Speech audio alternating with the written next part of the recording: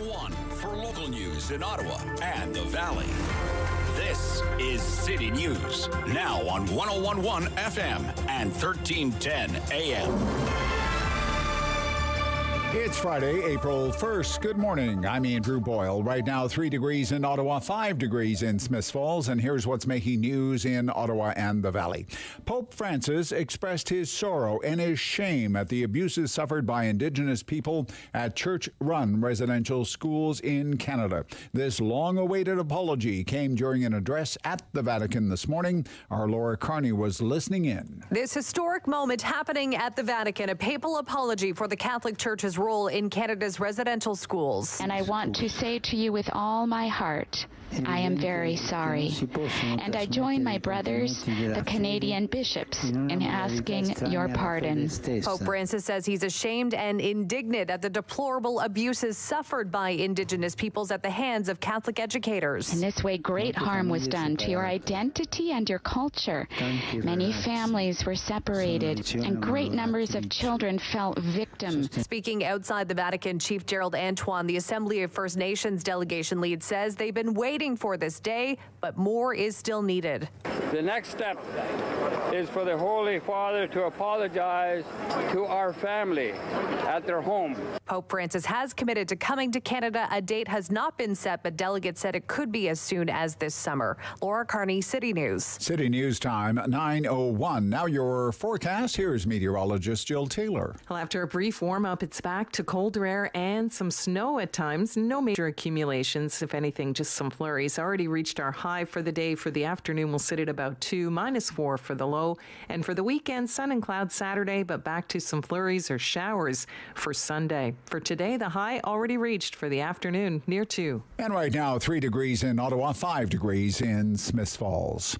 Ukrainian authorities say Russian forces have left the damaged Chernobyl nuclear power plant. Ukraine's state power company, Energoatom, says the pullout at Chernobyl came after soldiers received significant doses of radiation from digging trenches in the forest in the exclusion zone around the closed plant. The International Atomic Energy Agency says it cannot independently confirm the exposure claim. The company adds some Russian forces had set off towards the Belarusian border. I'm Charles de Ledesma. City News Time at 9.02. Well, the latest boost in the price at the pumps can be blamed on the war in Ukraine, but also on carbon tax. The federal government moving ahead. Today, the national price on pollution increased, adding 2.2 cents a litre to gas in most provinces. Environment Minister Stephen Guilbeault says the government will not stall or move backwards because the carbon price is seen as a cornerstone policy of the federal government's climate plan. It is a big step forward, returning to the days of pre pandemic travel. Vaccinated travelers can now enter Canada without getting a COVID 19 test. While that has sparked a surge in travel bookings, many parts of the country, others are seeing rising cases in a more contagious subvariant of Omicron. That could lead to restrictions being imposed once again. And even though several scientists have warned we're already in a sixth wave of COVID in Ontario, the health minister says it's not necessary to reintroduce any public health measures.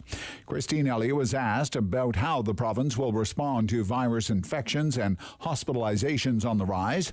She says the current rise in cases was not unexpected after the province ended most public health measures like the mask mandates. I'm Andrew Boyle for News Anytime. Follow up online at ottawa.citynews.ca.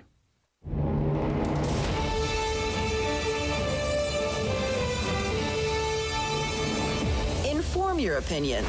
It's the Rob Snow Show on Rogers TV and City News. 1011 FM and 1310 AM. Ah, Friday. We made it. Made it to April. April Fool's Day. I'm not a big fan of April Fool's Day jokes. The news is unbelievable enough of the time. Good morning. Welcome to the Rob Snow Show on City News. Very busy program ahead. He's been minding Ottawa's business all week. Tom Korski, managing editor, Blacklock's reporter, digging into the inner workings of our federal government and how it spends your money. For example, speaking of money, $88 billion. $88 88 billion. Okay, this is a story Blacklock's has this morning. $88 billion.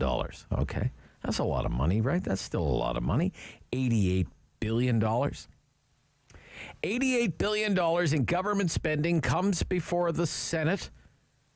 The upper chamber of sober second thought.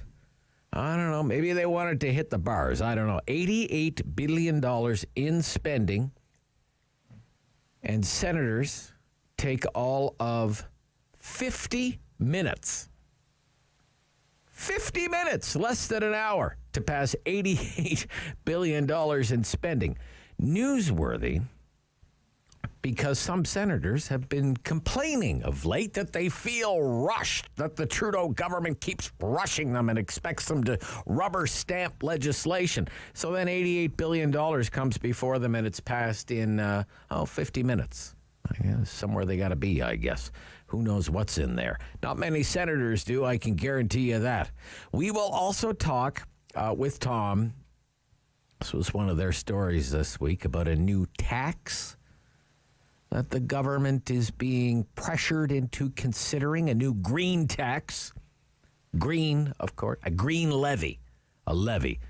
Uh, see, a lot of people don't want to use the word tax, right? They'll call them anything but taxes. Call them levies, call them prices. Call yeah, I love how taxes become prices. That's miraculous. But how about a tax of at least a thousand dollars? at least $1,000 on pickup trucks and SUVs. All in the name of being green. Slap a, a, a, special tax on pickup trucks and SUVs. What were the top five best selling vehicles in Canada last year? Oh, four pickup trucks and one SUV. and not an electric among them. Cha-ching.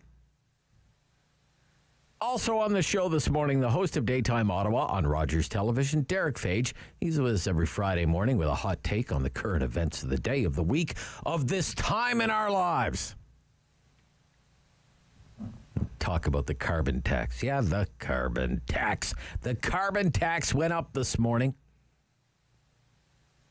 to $50 a ton, 25% higher than it was, oh, just this time yesterday. You know, some media outlets are, you know, they're pointing it out. Well, it only adds 2.2 cents a liter to the price of gasoline. No big deal, right? What are you complaining about? It's only 2.2 cents a liter more. Well, if that's all it's adding to the price of gas, shouldn't you ask, what good is it, really? As a disincentive. Another 2.2 cents a liter on the price of gas. This, this will solve the climate crisis? How? Especially if you believe the government's claim that you get all the money back and then some.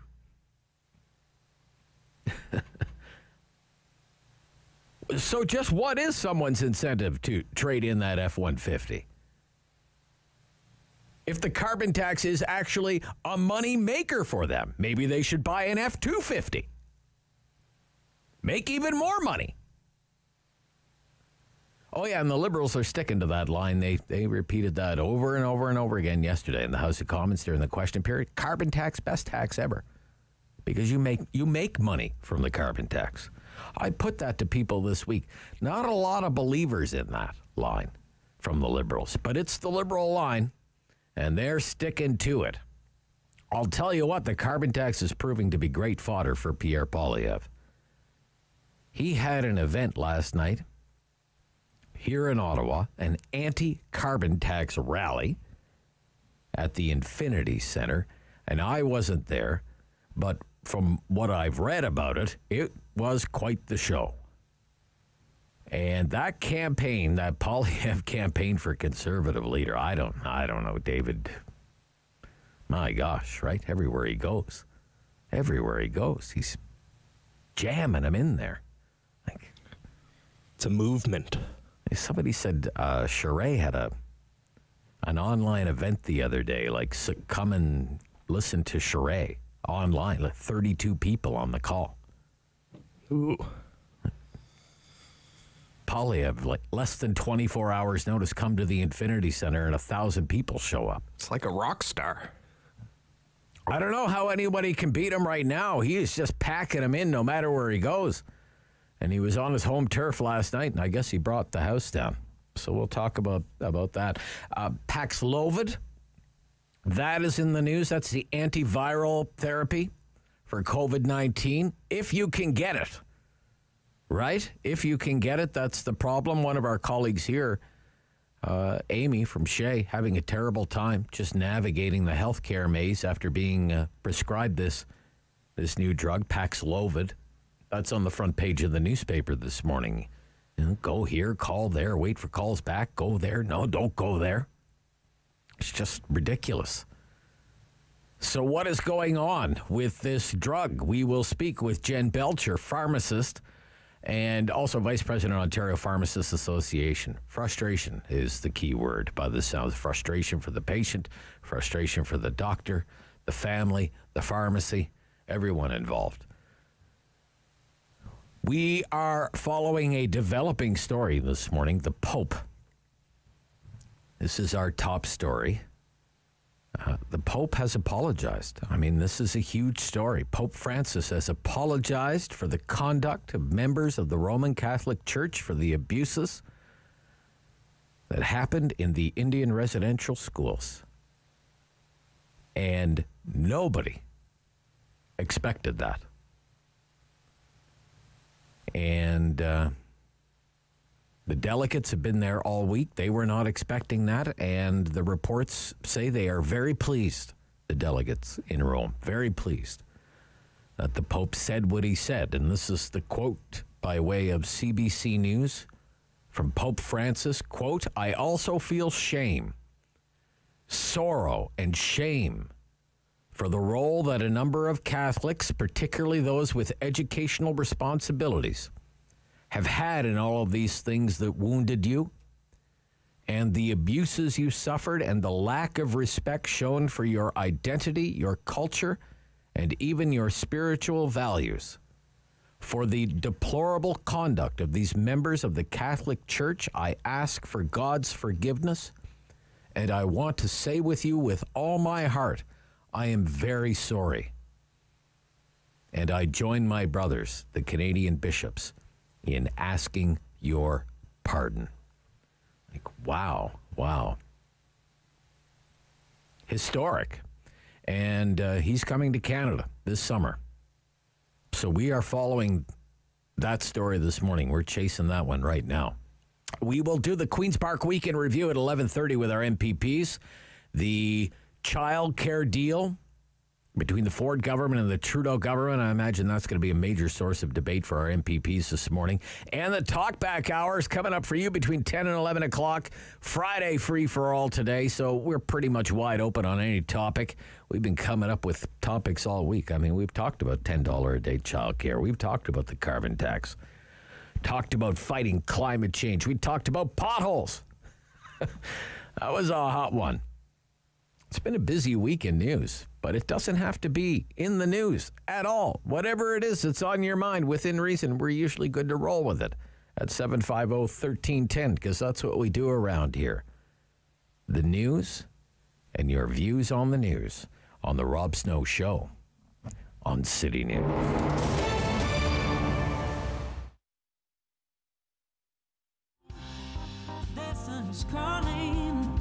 change with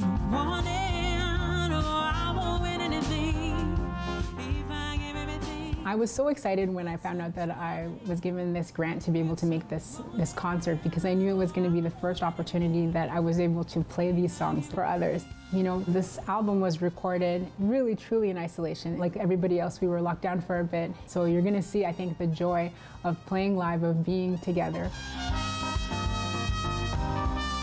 For me, as someone who owns a business in Ottawa that's directly working with music, I own a recording studio, it is important because it gives a sense of confidence in terms of having support from a lot of different places. Uh, we all know in Canada, There are all kinds of city, provincial, and federal uh, people who provide funding for artists. And just seeing how invested Ottawa is and expanding the reputation of Ottawa as a music and entertainment city, running a business in that city, just it makes you just feel better that someone's going to support you, help you, and have your back.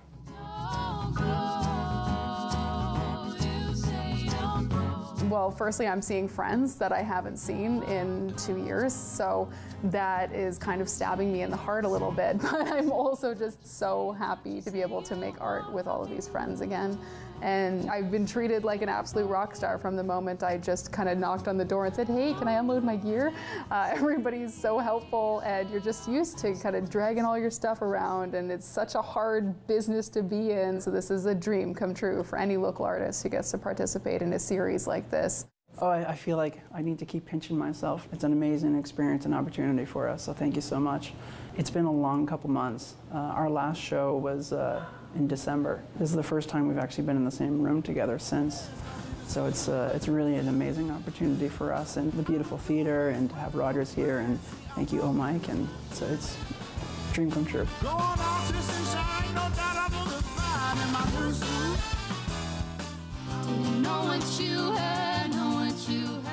I'm here with one of my best friends, Alex, and we haven't performed in almost two years because of COVID.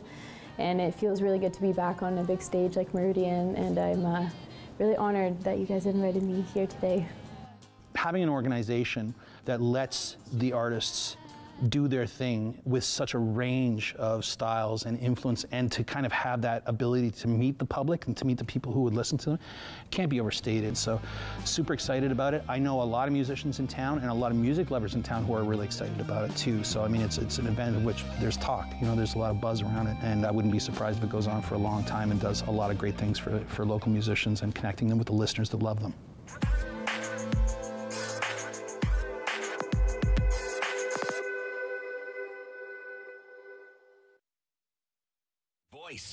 Strong opinions. The Rob Snow Show returns on Rogers TV and City News. 1011 FM and 1310 AM. He's been minding Ottawa's business all week. The managing editor.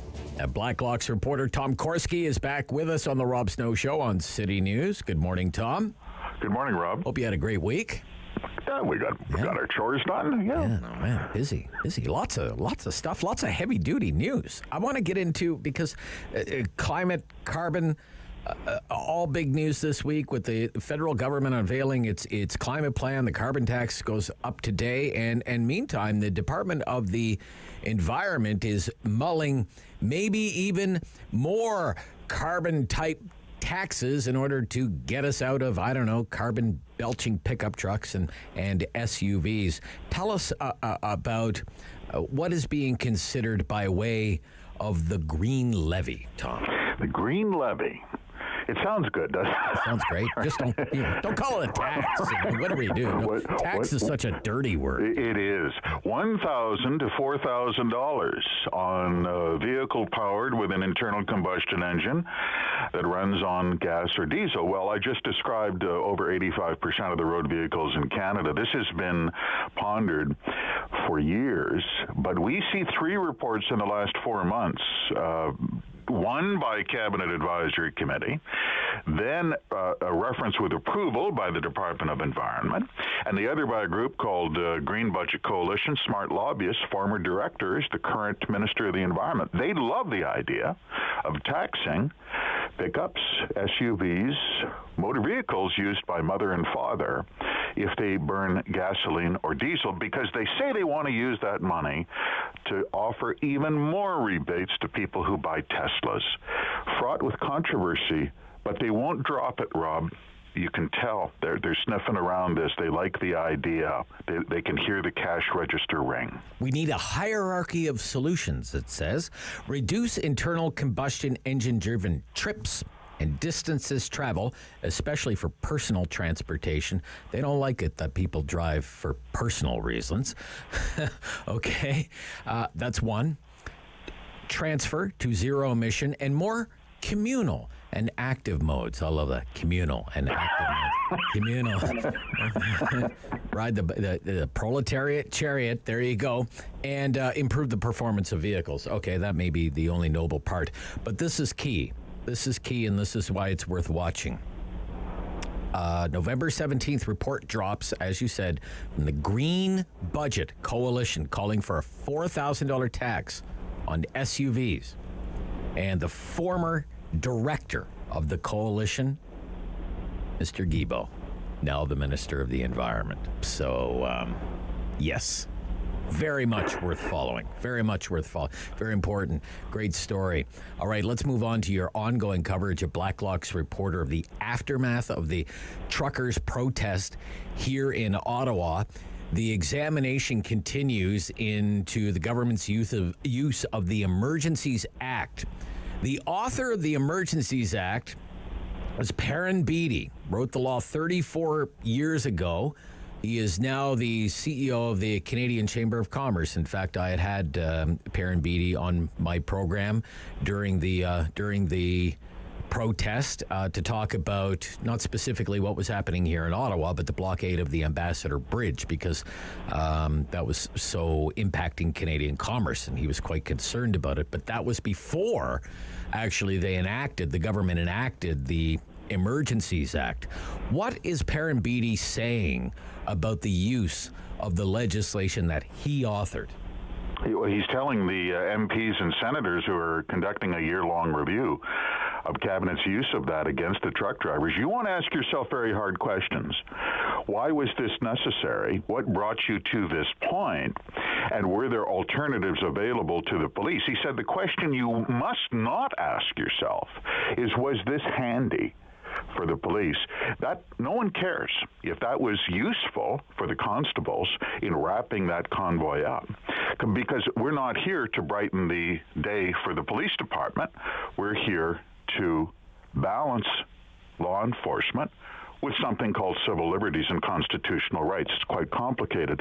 That was Beatty's message to the review committee. It doesn't matter if it was efficient or the police found it useful. The question is, was it justified and why was it brought in in the first place? Crucial questions, Rob, because the implication is this was political score settling by cabinet. There's been no evidence, and I stress zero evidence, that this was justified based on lawlessness by the Freedom Convoy. Okay. So that was at one committee. At the Transport Committee, House of Commons Transport Committee, MPs heard from a Department of Public Safety manager by the name of Ryan Schwartz. Who is he and what did he have to say? Yeah, Schwartz is, is quite a character. He's acting director general of uh, cybersecurity at his department. He said that the Freedom Convoy, their internet traffic threatened social cohesion. He did, social co- threatened social cohesion. He wow. threatened social cohesion. He did not define what that means, and uh, oddly, no member of the committee took it up on him, but Schwartz went out of his way to, to point this out. You would think this man would have his hands full with Russian and Chinese cybersecurity agents, hackers, ransomware. No, now Schwartzy is the social cohesion hall monitor, and he's going to determine who is using the internet in a way that he doesn't like over at the Department of Public Safety. It was frankly unbelievable testimony, but they're, they're, you are so far into government overreach when it comes to cabinet's approach to the internet that it's often highly entertaining and perplexing at the same time. Okay, yeah, and we'll have more on that in a moment. Now, let's talk about the Public Health Agency of Canada and the quarantine hotels, um, which, from my recollection, not getting rave reviews on TripAdvisor, the quarantine hotels. if, I, if I recall, like you know, you, no, no, no, you don't want to stay here. Don't they? like one star, one star. Um, but look, uh, lots of lots of rooms booked, lots of, of money spent. So uh, this was the quarantine program for international travels uh, travelers. How much were these rooms costing per night? Yeah, they they spent 200 million on this. You, you they were booking 2,000 rooms a month. Wow. You, you'd think if you're booking 2,000 rooms a month, you'd get a pretty good bulk deal. They were paying up to 139 dollars a night. 139 dollars a night. 139. Wow. They were paying the commercial. They were paying the commercial walk-in rate. They were paying the Tom Korski rate. That's what I get when I walk in when I don't book it on Hotwire. 139 bucks a night. Auditors looked at this and said this was a schmozzle. It cost a fortune. It didn't get it done, and the program was a complete failure. But if you wanted to hose taxpayers, book your rooms through the Public Health Agency of Canada because that's what happened. It's like two million dollars a hotel, something like yeah, that. Yeah, they're, they're, oh, monthly. There monthly, were hotels. monthly. Absolutely, wow. absolutely. Holy cow! Oh man, at least you'd think for that money you get a decent meal.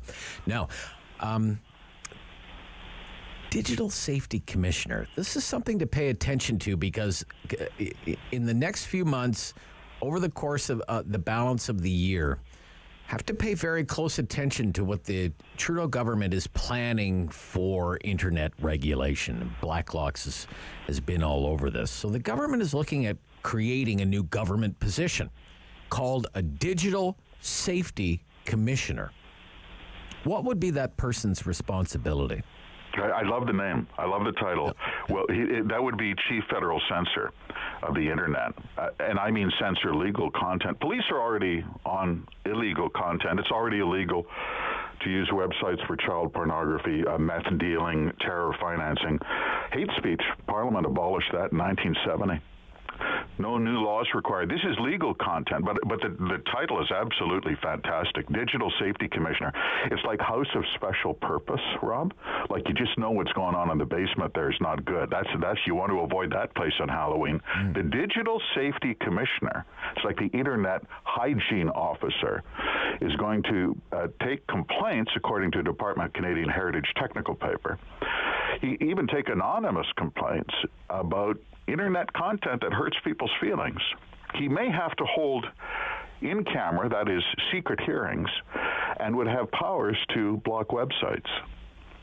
What's the problem? Well, 9,000 people read that technical paper, their heads exploded, and they submitted very negative comments to the minister's uh, department. The minister this week, uh, Pablo Rodriguez, appointed a 12 member panel, maybe mainly professors, to give him tips on how to censor the internet. Uh, I, am with you. You you have to watch this one like a hawk. Right, right. Because and the, the you know the thing to to keep in mind is much of what the digital safety commissioner would be would be policing is already policed. Is already against the law. Hate speech already against the law. As you said, can't sell illegal dr- drugs over the internet. As, as you, it's it's already illegal to promote uh, terrorism uh, online.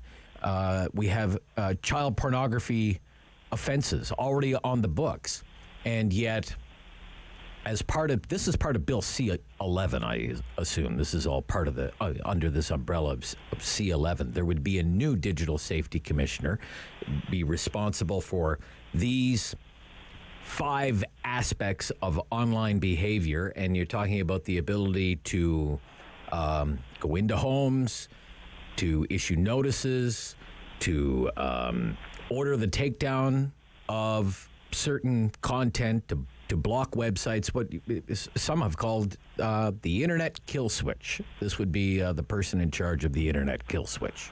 And I stress legal content, Rob. Legal content. He's after yeah. log- legal content. You don't need the commissioner if you see terror financing on, on the internet. You just call 911. You just call the, the police are right on that. He's after legal content that hurts people's feelings. Okay. You think about that. Yeah, that, we will. Boy, we that will. really covers the waterfront. I mean, my we feelings will. are hurt all the yeah, time. We all right. Well, it's almost the weekend, so cheer up, okay? Thank you, Tom Korski. Thank you, Rob. Speak soon. Tom Korski, managing editor, Blacklock's reporter. Some of the things eh, in government, crazy. Crazy. Coming up after the news, Derick Fage, daytime Ottawa host on Rogers Television. This is the Rob Snow Show on City News.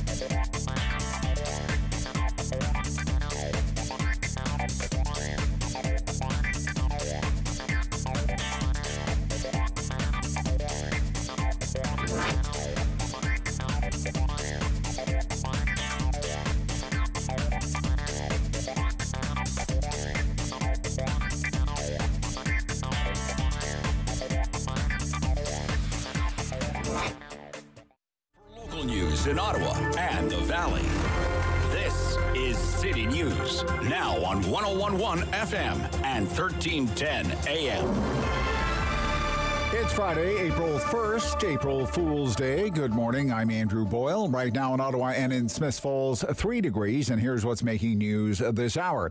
Pope Francis has apologized for the Roman Catholic Church's role in residential schools, telling an Indigenous delegation from Canada I ask for God's forgiveness, and I want to say to you with all my heart, I am very sorry. Francis promised he will come to Canada. There are some who feel that could happen as early as July, although no firm date for a papal visit has been set. Gas prices increased again overnight, and that was partially due to the ongoing conflict in Russia, but also partly due to the 2.2 cent a litre increase due to the carbon tax. And hats off to Library and Archives Canada for a, treat, a tweet on this April 1st, declaring Ryan Reynolds a national treasure that must be protected at all costs. Right now, the Library and Archives, though, says he's on loan to the U.S. National Archives. He will be preserved for future generations in a world class, climate controlled vault.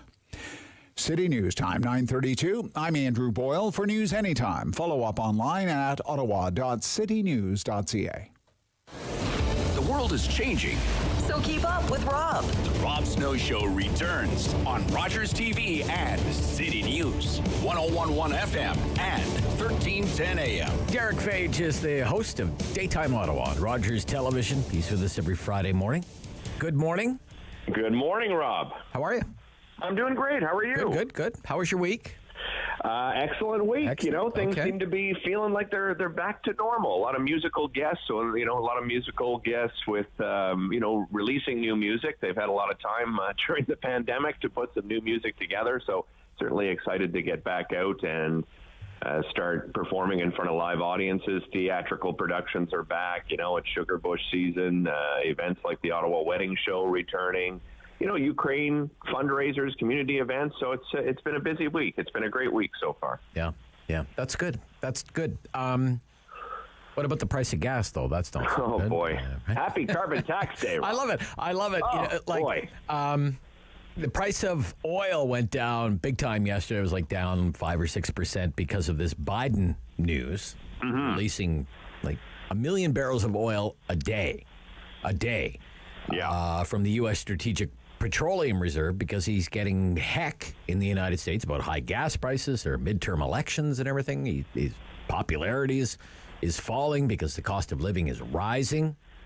Sounds familiar. And in the in the meantime, there's just like it's no relief from from Mr. Trudeau, and and and and like no apology at all. Like no, we must do this. You know, the planet is at stake. What do you think about Trudeau Ah. refusing to um like hit the pause button on hiking Just the carbon? completely out of touch, Rob. Really? Completely out of touch. Like I think he has been, quite frankly, um, since halfway through his last term and the beginning of this term. Um, just don't.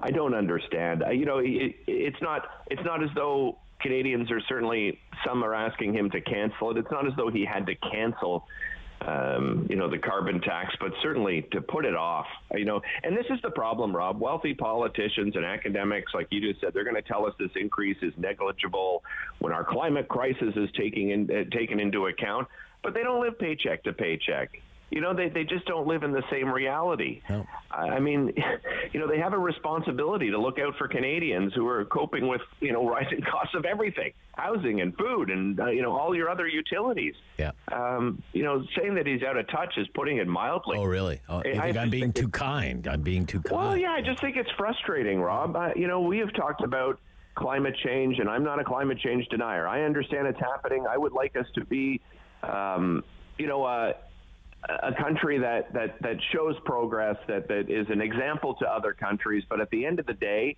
we, we as a country are responsible for less than 2% of greenhouse gas emissions.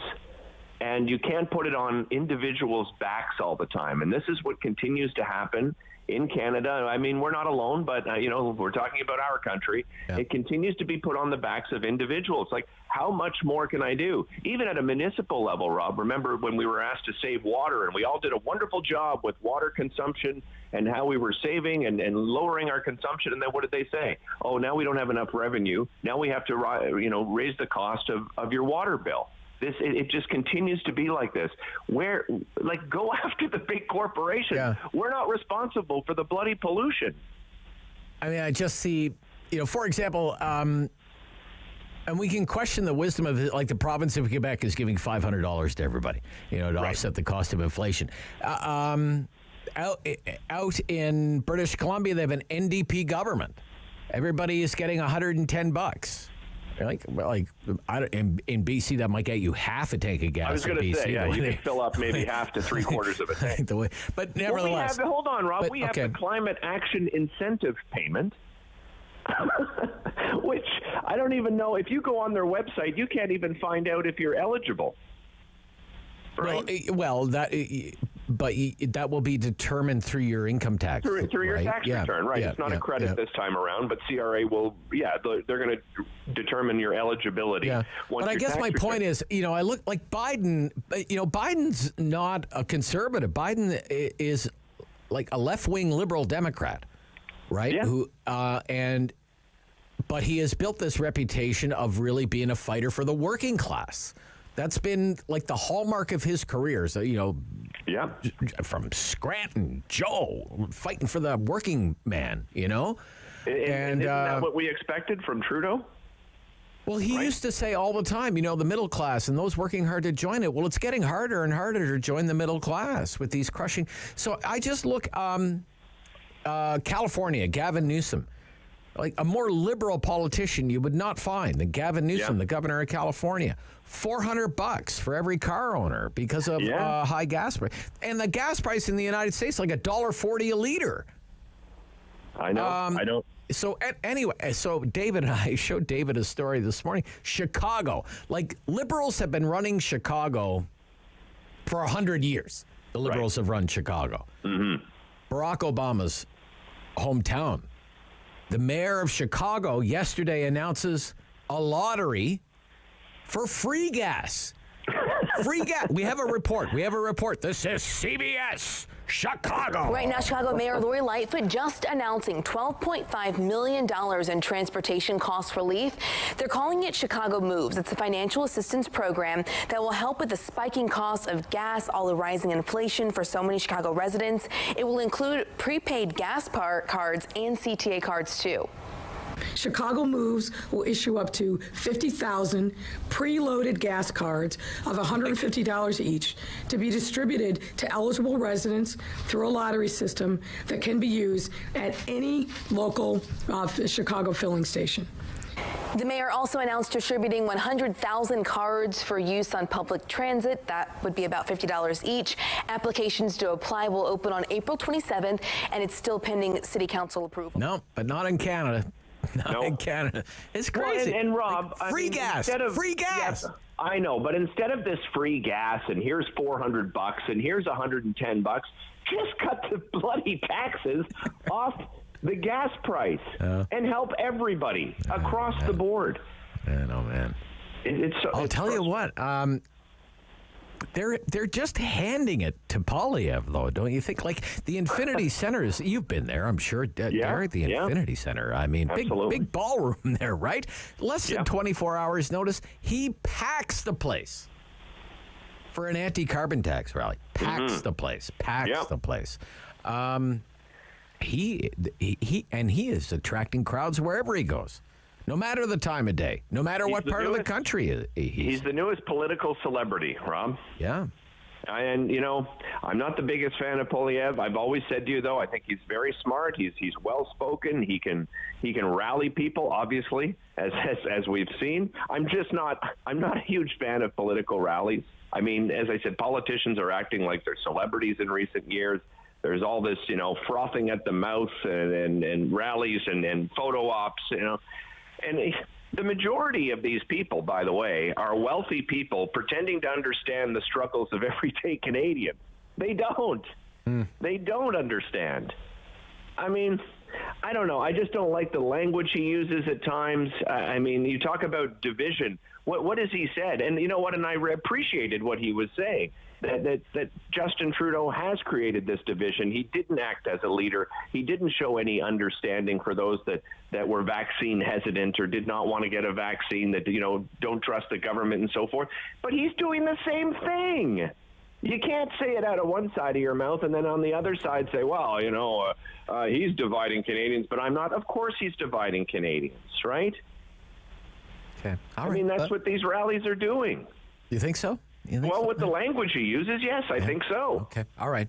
Um, you have another poll. There's another poll out. Uh, Doug Ford, PC party, like well on its way to winning a second majority government.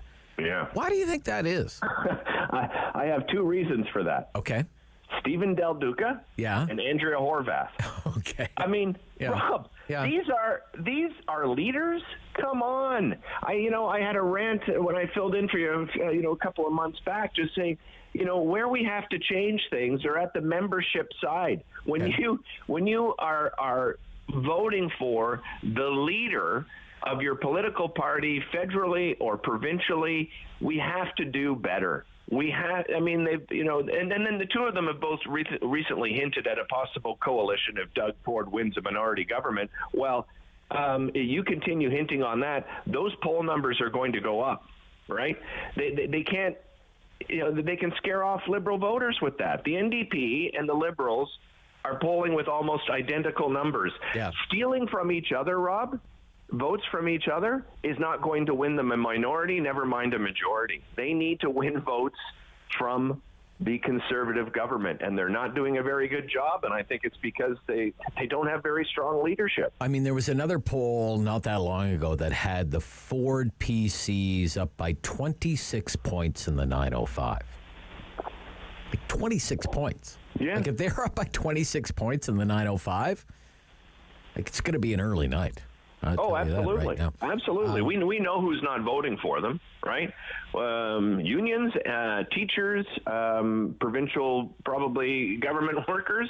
uh, Nurses, but nurses, yeah. nurses, yeah. absolutely, yeah. Healthcare field, but beyond that, I don't know. When you look at the alternatives, I think a lot of people are going to say, "Hey, Yeah. you know what? I, I didn't necessarily agree speaking- with everything he did in the pandemic, but he did have some of the tightest restrictions in in North America." Sure.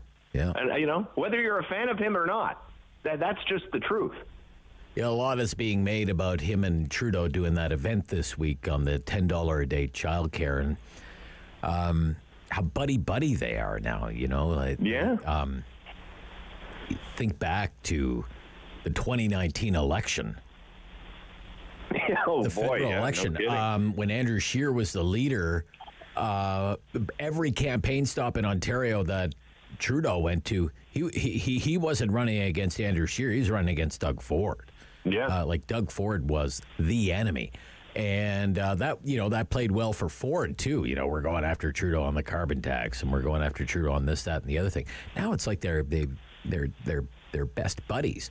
And that if Well, you're if you're the Ontario Liberals, like you're Steven Del Duca, you're hoping you, you must have been hoping that you know Trudeau's going to be there for you, and he can like give your campaign a lift and maybe some shine and maybe some star power, some appeal because. You know, Del Duca doesn't have it. Um, No, he's not a, at He's all. a smart guy. He's a smart guy. Don't get Yeah, me wrong. sure. He's a he, he but it, and when he was in government, he was a real attack dog for the government. That's his reputation. Um, to Well, he was probably see- hoping and praying You know, that- to that see the Ford Tru- would turn you know, down. Well, yeah, to see Trudeau, um, you know, being best buddies with Ford has just got to be killing Del Duca. Like, what are you doing to me, guy? What are you doing to me?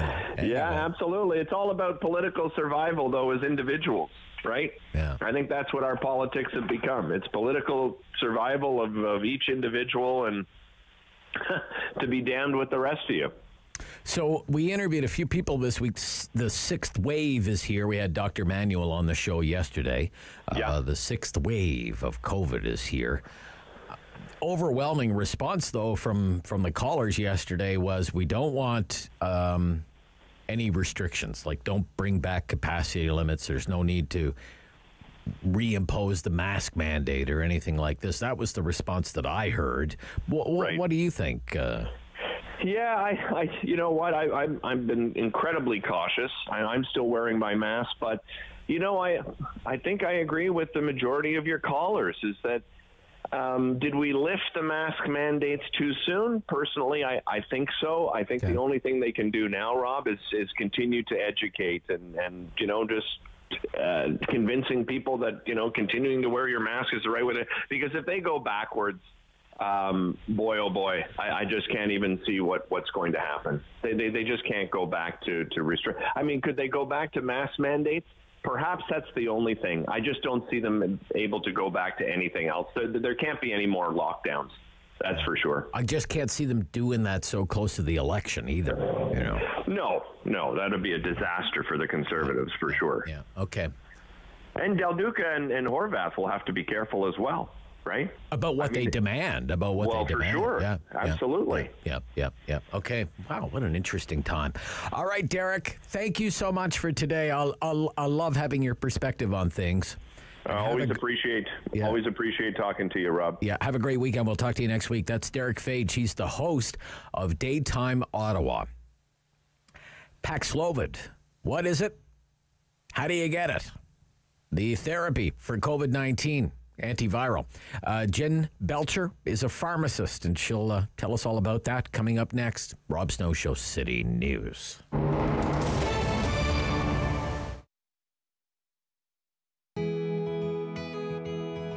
I'm Emily Bertrand, the owner of Royale Equestrian Center. Uh, this is Diamond. She's a 10 year old thoroughbred. She used to be a racehorse um, and then made the transition to a riding horse. She loves jumping and she's used for our more advanced students. So we started the farm 14 years ago um, with my mom and brother. My brother was actually driving by one day and saw the sign and we applied. There were 60 applicants and we got it. Um, when we first started, there was not very much here, so our property is about 25 acres, and there was just this 100 year old barn.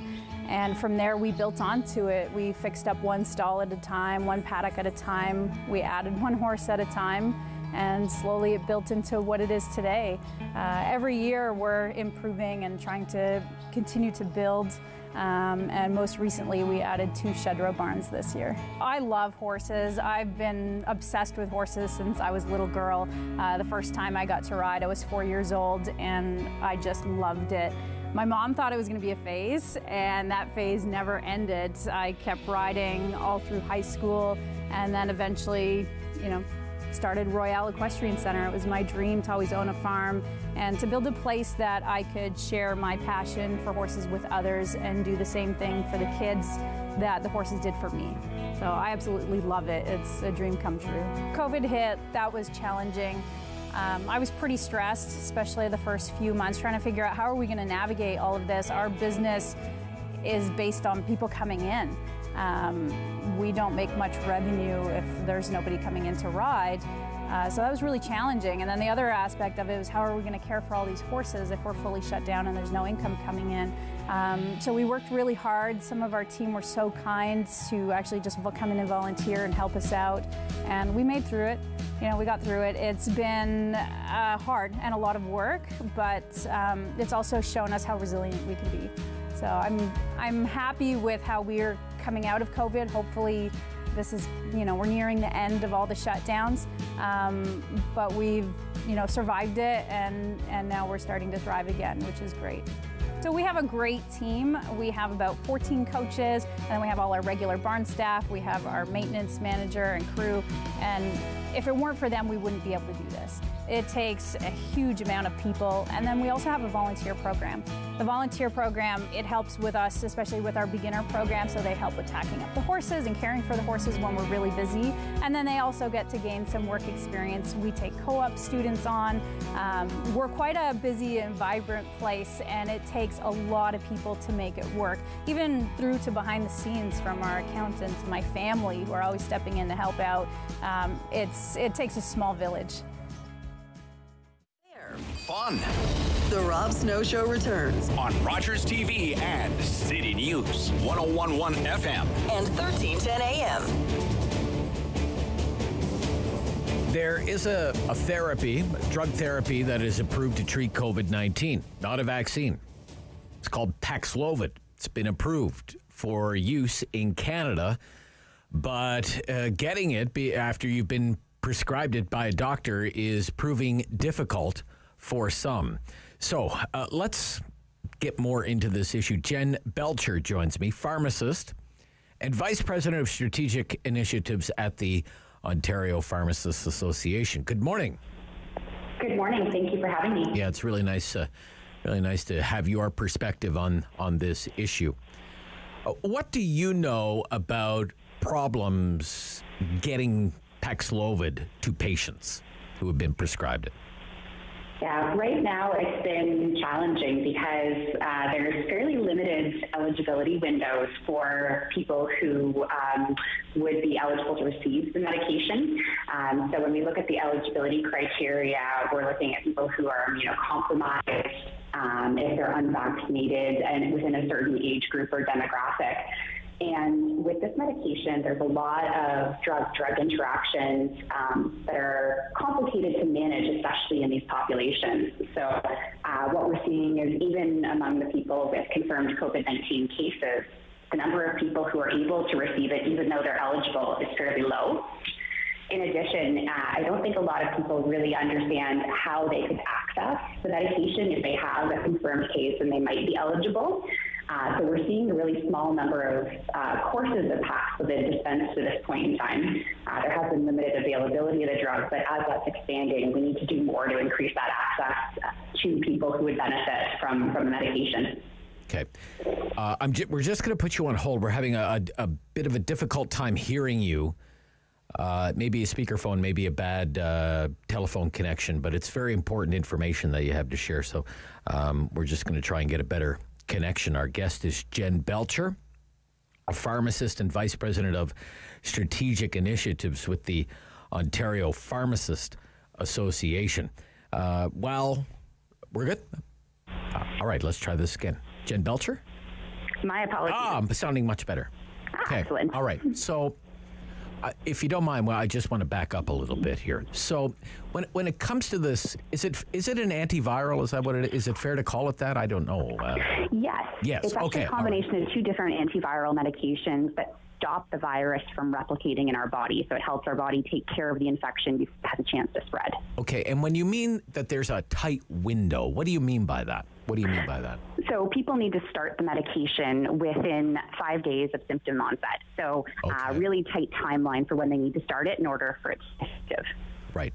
And it's only approved for certain segments of the population, high risk individuals, Correct. I guess, right? Yeah. So we have, you know, compromised people, people who are unvaccinated, aged 60 and over, unvaccinated individuals, 50 and over with one or more risk factors, um, so forth. Okay. So, what have been some of the obstacles that you've heard about? I know uh, people are having a hard time figuring out where to go if they uh, think that they might be eligible for treatment. Once they get a positive test, even just getting that test in the first place can prove challenging because uh, we have limited eligibility on testing. So if you need a positive PCR test in order to qualify, being able to get that in the first place to be eligible for therapy uh, is a challenge for most people, as well as knowing what to do afterwards and being able to do that within the time frame that they need in order to start the drug um, has been challenging for people because right now uh, we're seeing most of the um, provision of the medication through clinical assessment centers uh, in the various different public health regions, and people can either contact their primary care provider, call telehealth, or visit the, the assessment center. But I Right. think general knowledge about what to do is, isn't really uh, well established out there either. Right, right. So, yeah, but, but, yeah, I guess the, the one of the problems is it's not enough to have a positive test, but there has to be a medical history taken, right, at one of these Correct. assessment centers to determine your eligibility.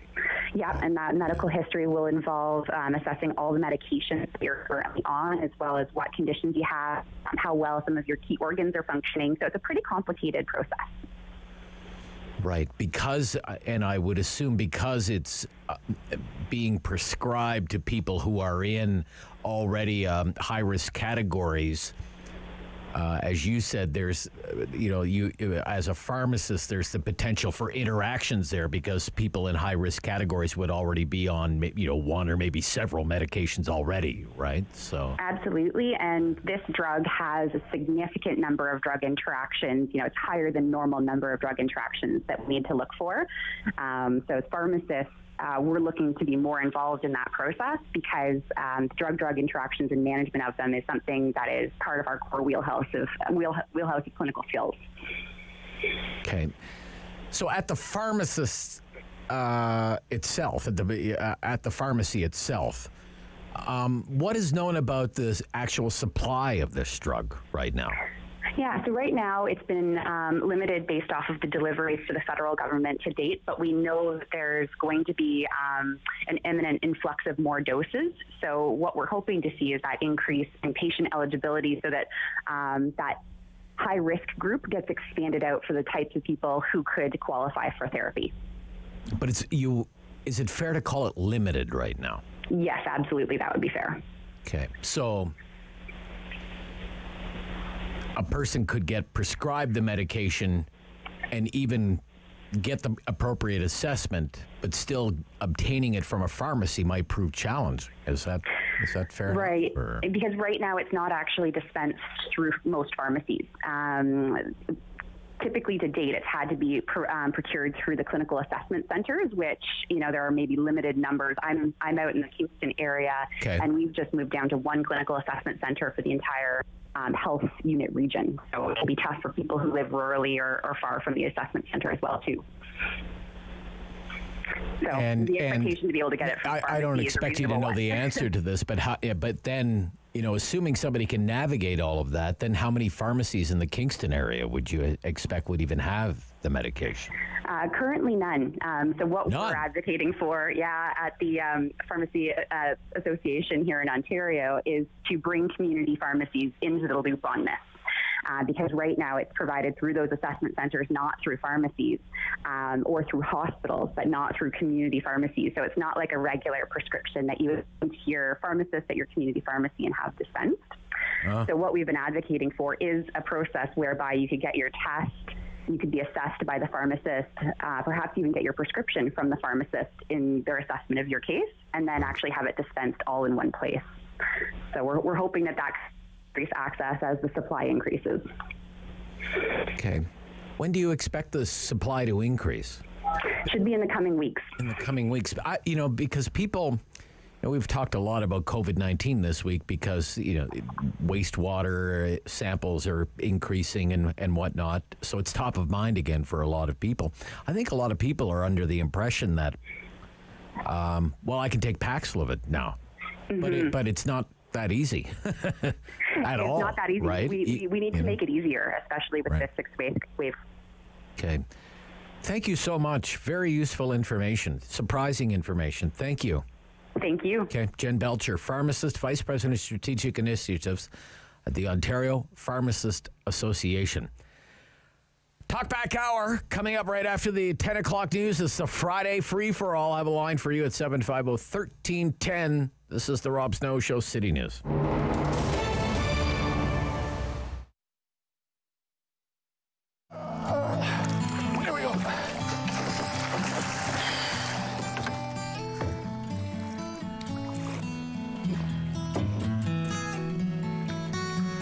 Going back in, okay?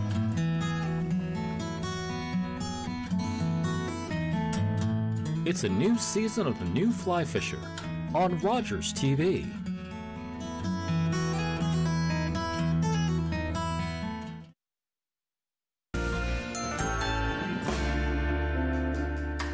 I love to make abundance boards. And why do I call them abundance boards? Because they're an abundance of all the things that you love together. There's no rhyme or reason, there's no rules. It's literally about taking a whole bunch of different ingredients and making them into something that you love, that you can snack on. Maybe curl up on the couch and uh, have a snack night. Charcuterie is all about a meat plate. And antipasti is all about a little bit of meat, a little bit of fruit, and a little bit of snack that you might have at the beginning of a meal, like an appetizer. I like to take all of these concepts and kind of mesh them together. It's kind of like a work of art because you're creating something delicious, but you're also creating something that looks super fancy, like from a gourmet style restaurant, but just using simple things you have.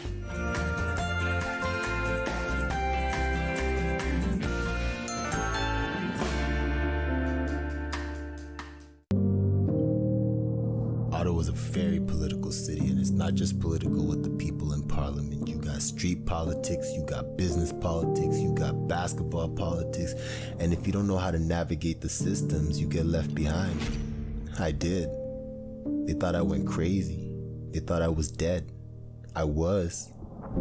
But it's never too late to heal, to rebuild, to reinvent yourself. Prezi.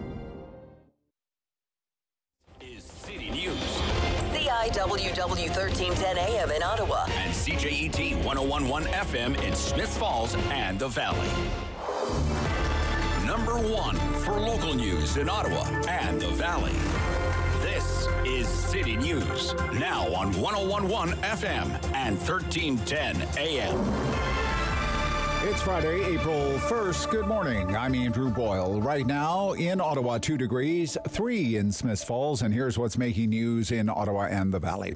Pope Francis issued a historic apology to Canada's Indigenous people this morning for the church's role in Canada's residential school system. City News reporter Laura Carney joins us with the details. Today's meeting at the Vatican, a culmination of a week of meetings with Métis, Inuit, and First Nations delegates. And I want to say to you with all my heart, I am very sorry. That historic papal apology, one that Indigenous peoples had hoped to hear. Pope Francis also begging forgiveness and says he felt indignation and shame for the abuses suffered by Indigenous peoples at the hands of Catholic educators. Sorrow and shame for the role that a number of Catholics, particularly those with educational responsibilities, have had in all these things that wounded you. Phil Fontaine, former National Chief of Assembly of First Nations, spoke outside the Vatican. He even went beyond what I hoped to hear from him when he talked about feeling shame and guilt. Pope Francis also announced he'd come to Canada. Indigenous leaders hope he will offer an apology here as well. Laura Carney, City News. Now, Métis National Council President Cassidy Caron sat with residential school survivor Angie Queerer. And when Angie and I were sharing a book and reading the book together, I pointed out the words, I am sorry. She broke down into tears, and it was so moving because I know how important that is to her. And I know how important those words are going to be to our survivors back at home. Which is why we will continue to advocate for Pope Francis to share those, those words, those sentiments, what he's learned and what he's heard from us back on our homelands. Now, Francis also asked for God's, God's forgiveness, and while the plans are in the works for a trip to Canada sometime this year, some feel it will be July, but no firm date has been set. City News Time 10:04. Now your forecast with meteorologist Jill Taylor. Well, after a brief warm up, it's back to colder air and some snow at times. No major accumulations, if anything, just some flurries. Already reached our high for the day. For the afternoon, we'll sit at about two, minus four for the low. And for the weekend, sun and clouds Saturday, but back to some flurries or showers for Sunday. For today, the high already reached for the afternoon, near two. And right now it is two degrees in Ottawa, three degrees in Smiths Falls. The misery in Mariupol continues, with Ukraine now claiming Russian forces have seized food supplies that were intended for the people trapped there. The Ukrainian government says the forces blocked 45 buses that had been sent to evacuate civilians from the besieged port city of Mariupol, and only 631 people were able to get out of the city in private cars. Deputy Prime Minister Vereshchuk added late Thursday that 12 Ukrainian buses with humanitarian aid had left Melitopol for Mariupol, but the Russian forces had stopped them, seizing the 14 tons of food and medicines on board. I'm Charles de. And the husband of one of 22 people killed in a mass shooting in Nova Scotia almost two years ago says the Commission of Inquiry has failed to properly scrutinize evidence or ask probing questions about the RCMP. Nick Beaton believes there were a lot of missing, a lot missing from yesterday's proceedings, which focused on the second day of the killings. Latest documents to be released describe tense and tragic moments as the RCMP officers and then distraught family members arrived at places where their loved ones had been killed. For example, the inquiry heard no ambulance was called as Heather O'Brien lay dying because of the risk of an active shooter. I'm Andrew Boyle for News Anytime. Follow up online at ottawa.citynews.ca. Talk back. Hello. On the Rob Snow Show. The phone lines are open at 613 750 1310. Now, the Rob Snow Show continues. Continues with uh, Friday free for all. It's our favorite hour of the week around here. We don't come up with the topics, you come up with the topics. We just do our best to roll with it. At 750 1310. We usually talk about things that have been in the news because we're all news junkies around here. We are hopelessly addicted to the news. Uh, but whatever, doesn't have to be in the news. Maybe it's something you think should be in the news. Whatever it happens to be, within reason, we're uh, usually down with it. 750 1310. 613 750 1310. I would be curious to hear this morning from anyone who happened to attend the Pierre Poilievre anti carbon tax rally yesterday at the Infinity Center. What was that like if you happened to be there? I was not there. Uh, I'd love to get a recap from you, uh, like a review. A review. What did you think of that event? What was the mood like? Why did you go? What? How, how do you think he did? Man, he is pulling in the crowds, Poilievre. No doubt about it. Wherever he goes, no matter the time of day, he's getting the crowds. And um, Based on the reports I've read this morning, it was a large and enthusiastic crowd last night. Good recap from Politico. I um, I subscribe to Politico's morning newsletter. It's it's really good most of the time. Let me read a little bit of it here. Uh, I noticed Politico calls it a freedom rally, uh, the Poilievre Freedom Rally. Freedom, freedom rally. Uh, quote Politico's account of uh, last night's event, the Poilievre event. Quote, Pierre Poilievre packs a room with nearly a thousand freedom loving supporters. They feel freedom from COVID, as evidenced by a noticeable lack of masks in the room. Freedom from government, as evidenced by the booing for vaccine mandates. Freedom from anyone seen to be opposed to freedom. They gather in a ballroom on a little more than 24 hours' notice to cheer on their man. There's no denying it. Poilievre's movement, which draws hundreds wherever he goes, has arrived. Andrew Scheer is Poilievre's hype man, priming the crowd for the man of the hour. Poilievre's wife is the penultimate act she tells her family's story of immigration from Venezuela as political refugees in the 90s.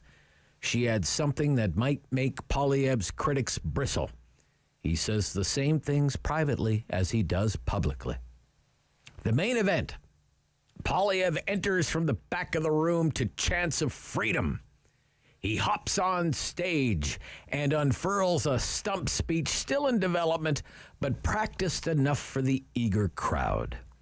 It takes a certain talent to whip up a frenzy over rhetorical attacks on regulatory gatekeepers, but they howl. Poilievre even gets a collective cheer for a Magna Carta shout out. His many, many critics will rail against his allergy to nuance. He doesn't distinguish between federal and provincial and even municipal jurisdiction, they'll rightly say. He ignores the global forces that play a serious role in inflation, they'll point out. But the people in the room have no interest in something as trivial as nuance. They hear what they want to hear, and they love every second of it. Spotted at the rally. Former Stephen Harper Chief of Staff Ray Novak, former Harper Policy Director Rachel Curran, Scheer side a, a Scheer aide Kenzie Potter, and a whack of MPs. A whack of MPs. Biggest cheer of the night, defund the CBC. Tiniest cheer of the night, I will reject a China style crackdown on cryptocurrency. So that's one account uh, of last night's Poilievre rally from one news organization. But if you were there, I, I'm just curious, you know, just curious. What you think of it? Uh, Michelle, Ottawa South. Michelle, good morning. You're on City News. Good morning, Rob. I was there. You were And there. Okay, read- all right. I All right. read that same article this morning, and uh, very well written, but so insulting, so cleverly insulting. Eh? Oh, really? Like Okay. Lowell says, all a bunch of knuckle dragging Neanderthals. I have a different take on it. Um, first of all, I believe there would have been way more people there because they were turning away. There was the story inside was, you know, there was hundreds of cars outside that couldn't find parking. It was packed, and Yeah. people were very, very happy and excited to have somebody they could stand behind and support. And to all the people that couldn't make it in, purchase a membership, buy it through Poilievre's office. Money well spent. So there were people who couldn't get in. It was that crowded they had to turn people away. Is that what you're saying? Oh yeah. Oh, oh for really? sure. Okay. It was packed. Wow. So and people were happy, and uh, young families, all kinds of faces, all kinds of people. So you know he has a wide. Was it? Let me ask you this. Let me ask you this, and be honest with me. Was it ethnically diverse? Well, I mean, yes, yes, it was. Yeah. If you consider, I mean, you know, what are we going to count? How many different color faces? No, no, no, but, there know. was representation. Were there new from- Canadians there? Were there new Canadians? There were new Canadians there, and they were also smiling. So okay, all right.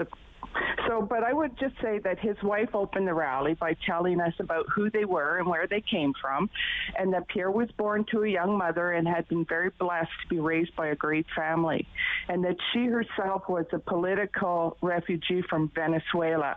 And she repeated several times that gas is not a necess- is not a luxury but a necessity.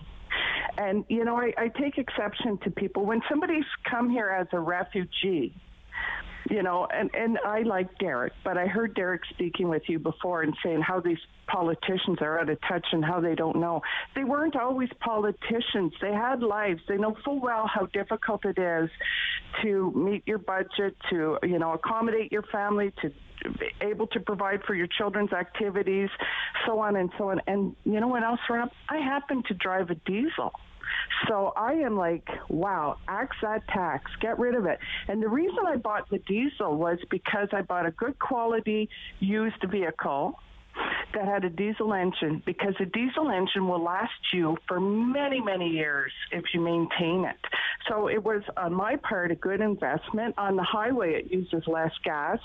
And now I'm looking at it like it's just going to be a trophy somewhere because I filled up the other day was $2 a liter. Yeah. And that was the cheapest I could find. It's like 207 around the corner from here. Yeah, it's Yeah. crazy. All right, Michelle, good account. Thank you. Oh, oh, Oh, sorry. Yeah, go ahead. Yeah, quickly. Yeah. There's so many things I, I would like to say. Well, we um, don't- we- we've got but jam one of the phone best lines, so- One of the best lines that Pierre said last night was, "If you're not sitting at the table with Justin, you're on the menu," and that's the truth. Okay. All right. Okay. Oh, that's a pretty good line. Yeah, that is a good line. Okay. If you're not at the table, you're on the menu. That's a good line. Chris, uh, Blackburn Hamlet. Chris.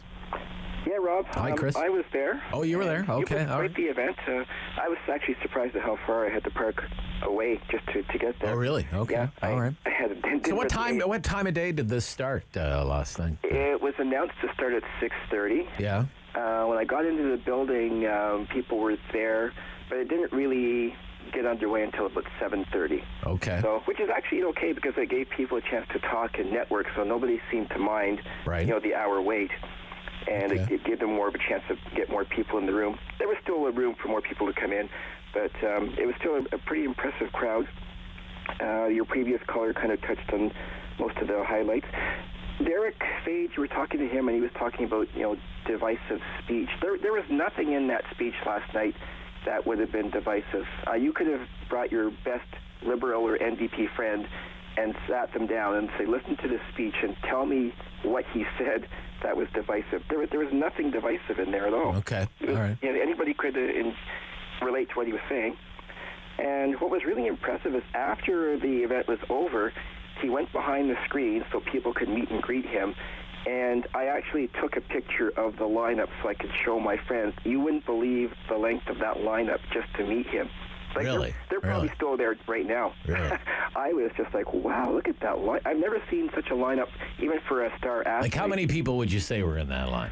Like a hundred people? Or in, in the line? yeah. Oh, uh, about three, about three hundred in the line just to meet him afterwards. Afterwards. Wow. Yeah, it was incredible. I have a picture to show it to prove it. It was, it was just like I've never seen that for a politician before. Just lined up.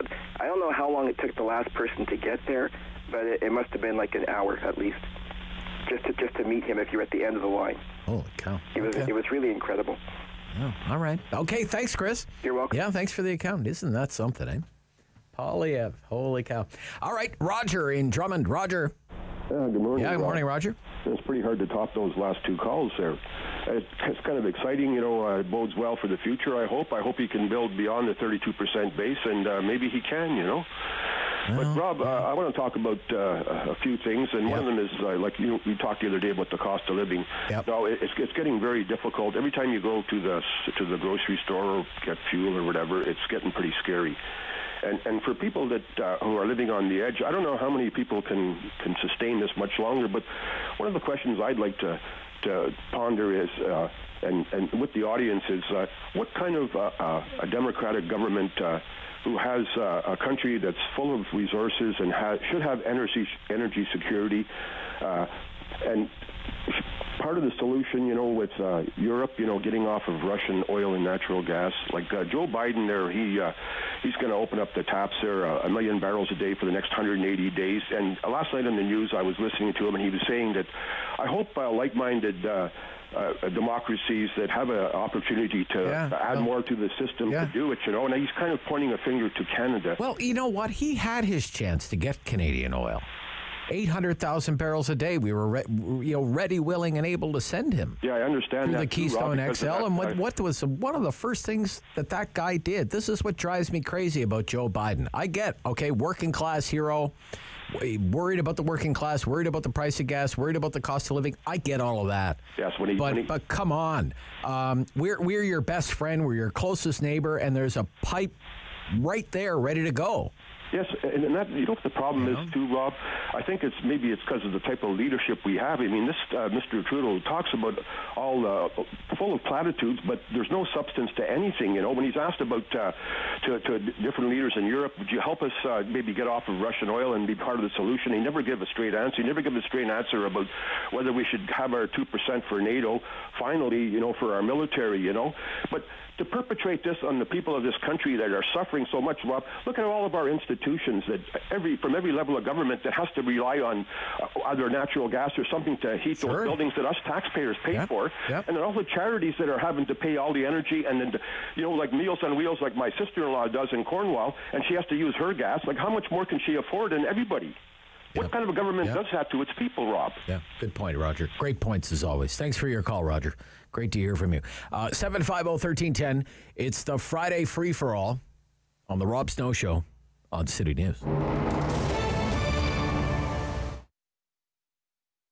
So the Women's Business Network is um, a volunteer-run association that achieves its uh, its uh, strategy and vision by supporting women to achieve their success on their own terms by providing development opportunities, valuable connections within the organization itself, and it, it facilitates member access um, to growth within their business and careers. I mentioned the absence, the two year absence of the uh, Businesswoman of the Year awards. Uh, you know, obviously difficult, Mira, but certainly an opportunity to, to work on some new things. Tell us what, what, you've, what you've got planned, what you worked on.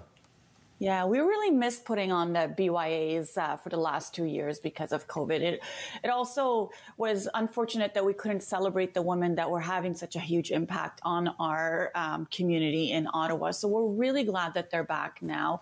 Um, as you know, that they've been around since 1983. Mm-hmm. They are uh, a purpose to celebrate the achievements, the professional expertise, and the leadership of all of the outstanding women we have in the National Capital Region.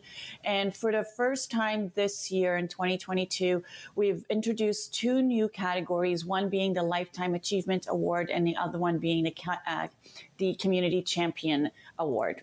Okay, yeah, and let, us break it down even further because, uh, as I mentioned, there's a there, there's different categories, and then uh, of course different awards within categories. Uh, tell us about some of the returning categories and some of the other awards as well.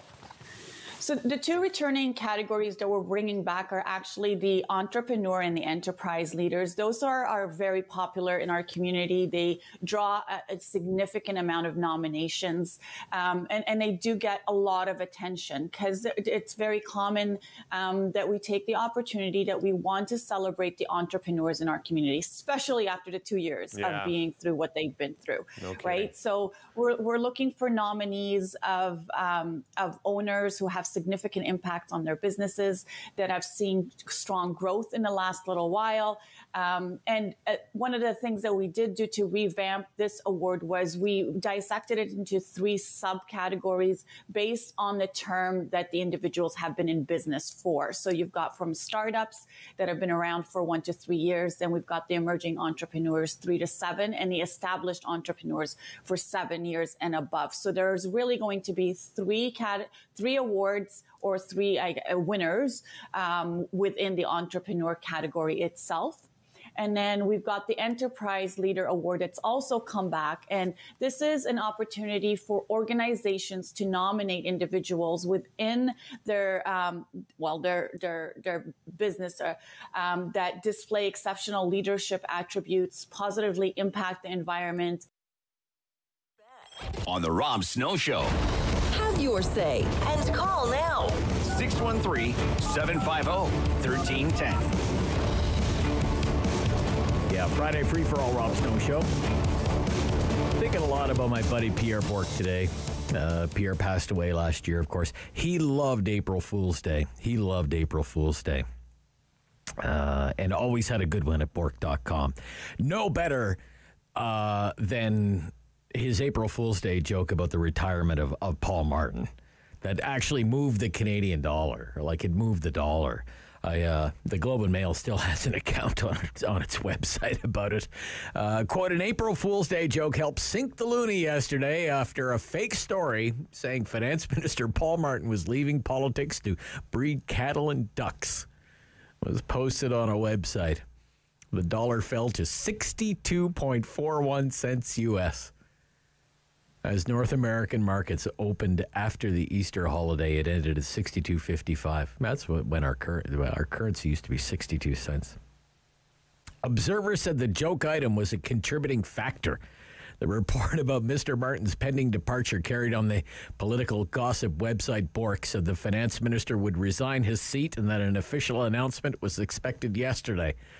It said Mr. Martin will retire to a quieter life outside the limelight to devote greater time to his wife and a burgeoning hobby interest in the breeding of prize Charolais cattle and handsome fawn runner ducks. fawn runner ducks, which he planned to show this fall at the Brome Lake and Havelock fairs.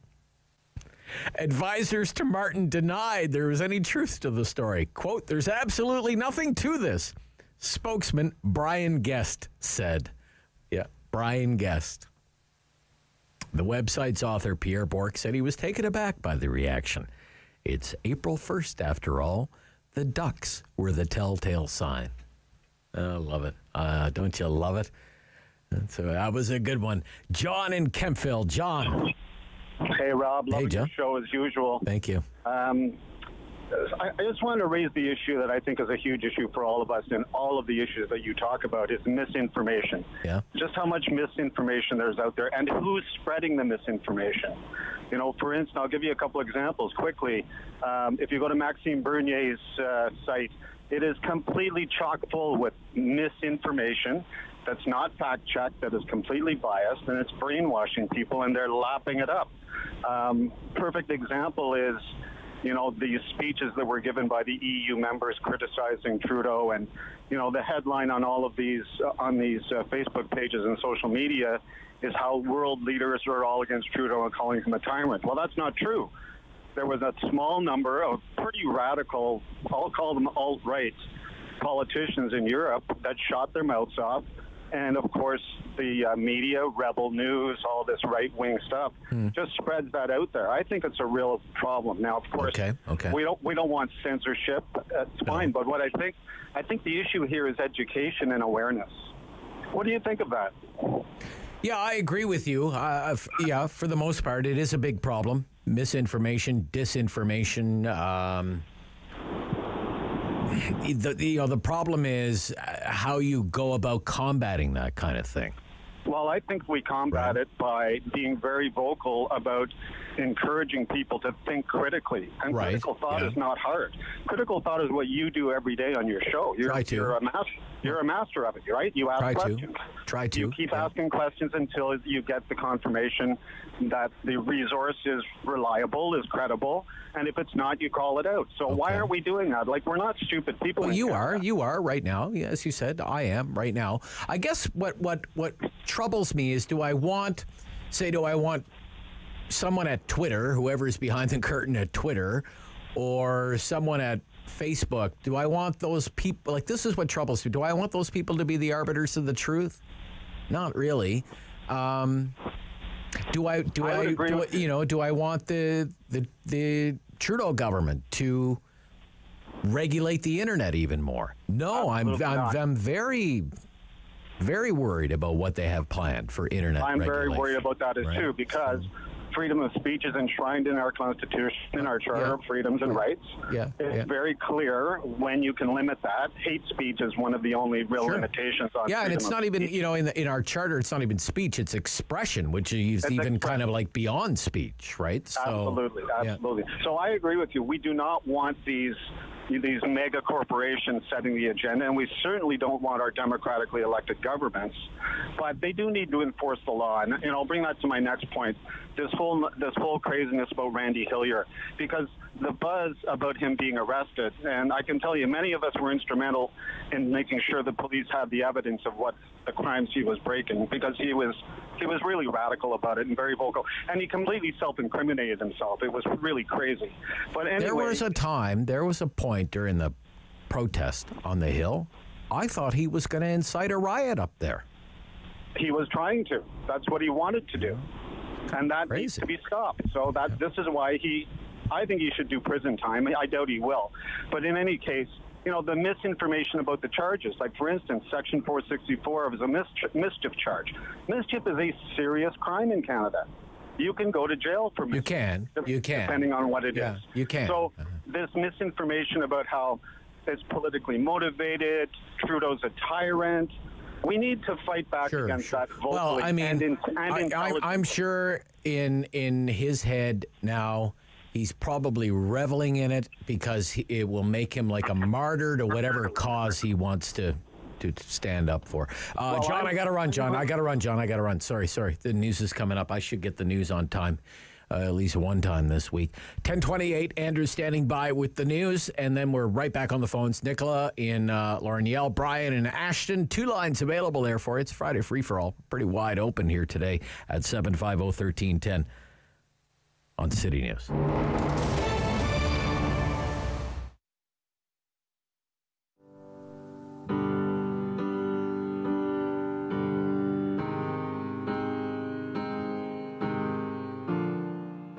I'm Danielle Allard, and I am a proud Ottawa born and raised singer songwriter, and I'm part of Encore Ottawa 3. I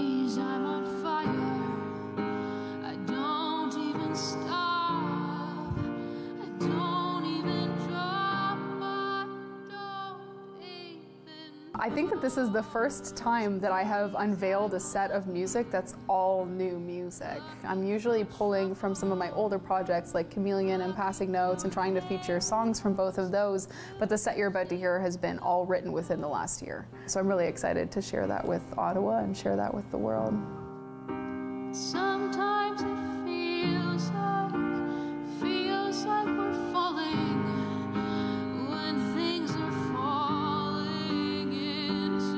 What does it mean? Well, firstly, I'm seeing friends that I haven't seen in two years, so that is kind of stabbing me in the heart a little bit. But I'm also just so happy to be able to make art with all of these friends again. And what it means being in a venue like this for a local artist. I mean, Centerpoint Theatre is premiere. I, have been treated like an absolute rock star from the moment I just kind of knocked on the door and said, hey, can I unload my gear? Uh, everybody's so helpful and you're just used to kind of dragging all your stuff around and it's such a hard business to be in and this is a dream come true for any local artist who gets to participate in a series like this and to also have access to an incredible film and audio crew. It's the dream.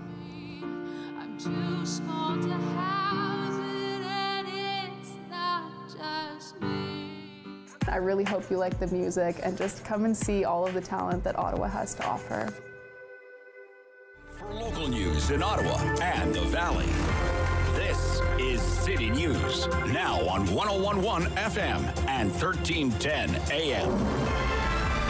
It's Friday, April 1st. Good morning. I'm Andrew Boyle. Right now in Ottawa, 2 degrees, in Smiths Falls, 3. And here's what's making news this hour. Pope Francis delivered a heartfelt apology to Canada's Indigenous people for what they endured in the residential school system.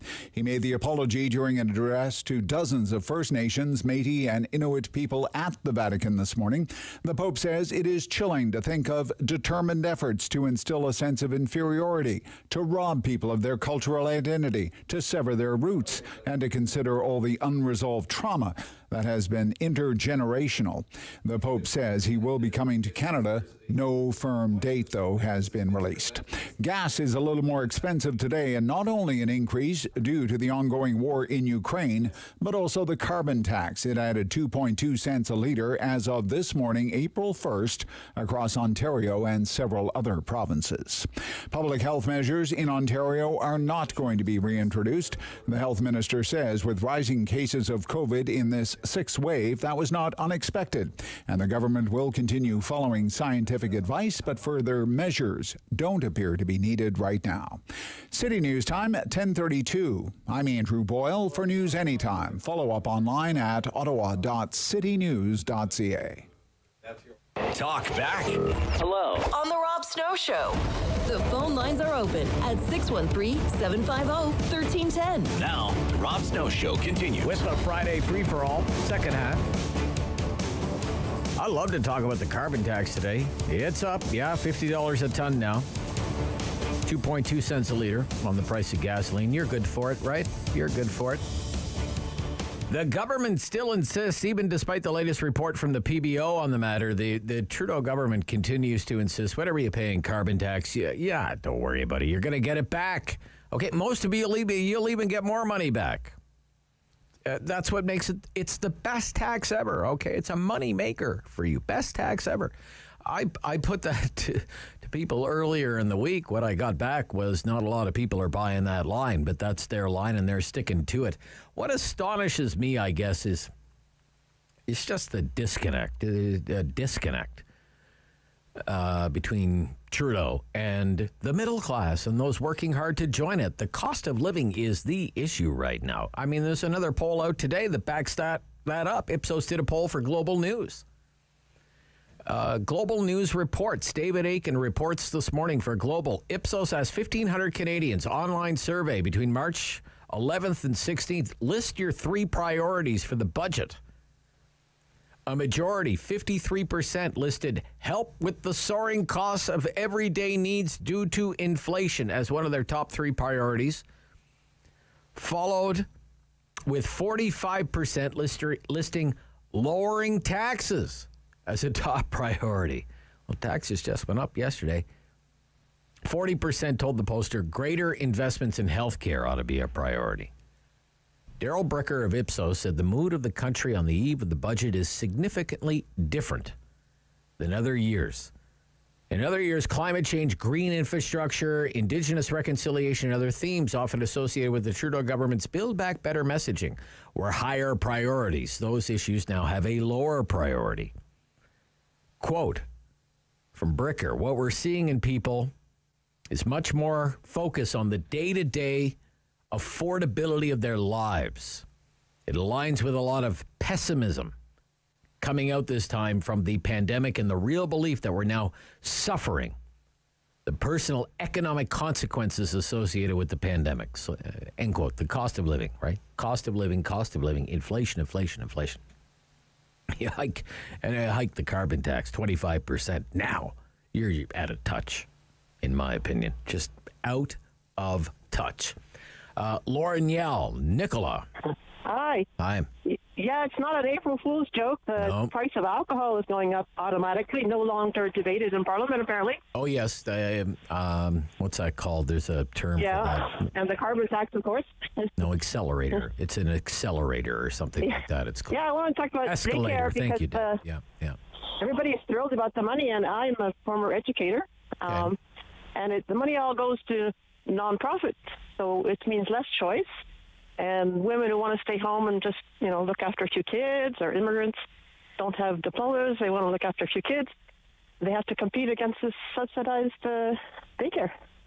Yeah, and there's going to be a rush into those, right? Which will Yeah. create, if it replicates what happened in Quebec, it's going to create a total shortage of space. Well, and shortage, uh, shortage and, of know, educators. There's a shortage already of yeah, educators. Yeah, and a, and a Uh-huh. long wait list. I mean, the advice in Quebec right now is if you want to get daycare for your child in Quebec, you have to sign up when you're pregnant. Yeah, and the ratios are terrible in Quebec. They're the worst in the country. It's like one to five for, for infants and one for 20 uh, for five year olds. Okay. And the, the, the square footage is really bad, too. Uh, but anyway, um, I also want to talk about the. Um, What the amazing new thing is, though, Party. Nicola, the amazing thing about the the way that daycare issue has evolved is, you know, this used to be like a big issue for conservatives, right? Fought fought elections over this, you know, beer and popcorn elections, right? Yeah. That you know we're not, we, you know, we don't want the government taking care of our our kids and all this kind of stuff. And what we'll do is we'll send parents money. Um, wh- where have all those conservatives gone? Um, like Well, Jason, Jason, coming, so uh, like Jason, uh, you know. Jason Kenney, Yeah. Scott Moe, Doug Yeah. Ford, uh, Blaine Higgs in New Brunswick. They, They all signed. They the all money. signed the deal. They all signed the deal, right? So Well, Ford's not going to turn it down right before an election. Come on. no, but but what? Well, yeah, but Jason Kenney doesn't have to go to the electorate until next year, right? Uh-huh. So why did he sign it? I don't know. Right? Or Scott Moe or whatever. Yeah. Scott Moe just won an election. Yeah. Has a majority. Anyway, I wanted to talk about the new Blue Party was having their conference, The and I, new- I listened wait, to them last night. Okay, New Blue. I don't know mu- much Yeah. about that one. But is It's that uh, provincial Greek or? guy, Jim uh, Kara something or Oh, other. Karagianis, yeah, yeah. Yeah, and Belinda, Belinda, Belinda, no, Brenda, uh, his wife. Uh, but anyway, I heard last night from them that uh, that uh, the PC party no longer has nomination meetings. It's all picked by Ford. Oh yeah, I don't know. Yeah, real, real democratic. Okay, well, I know. Yeah.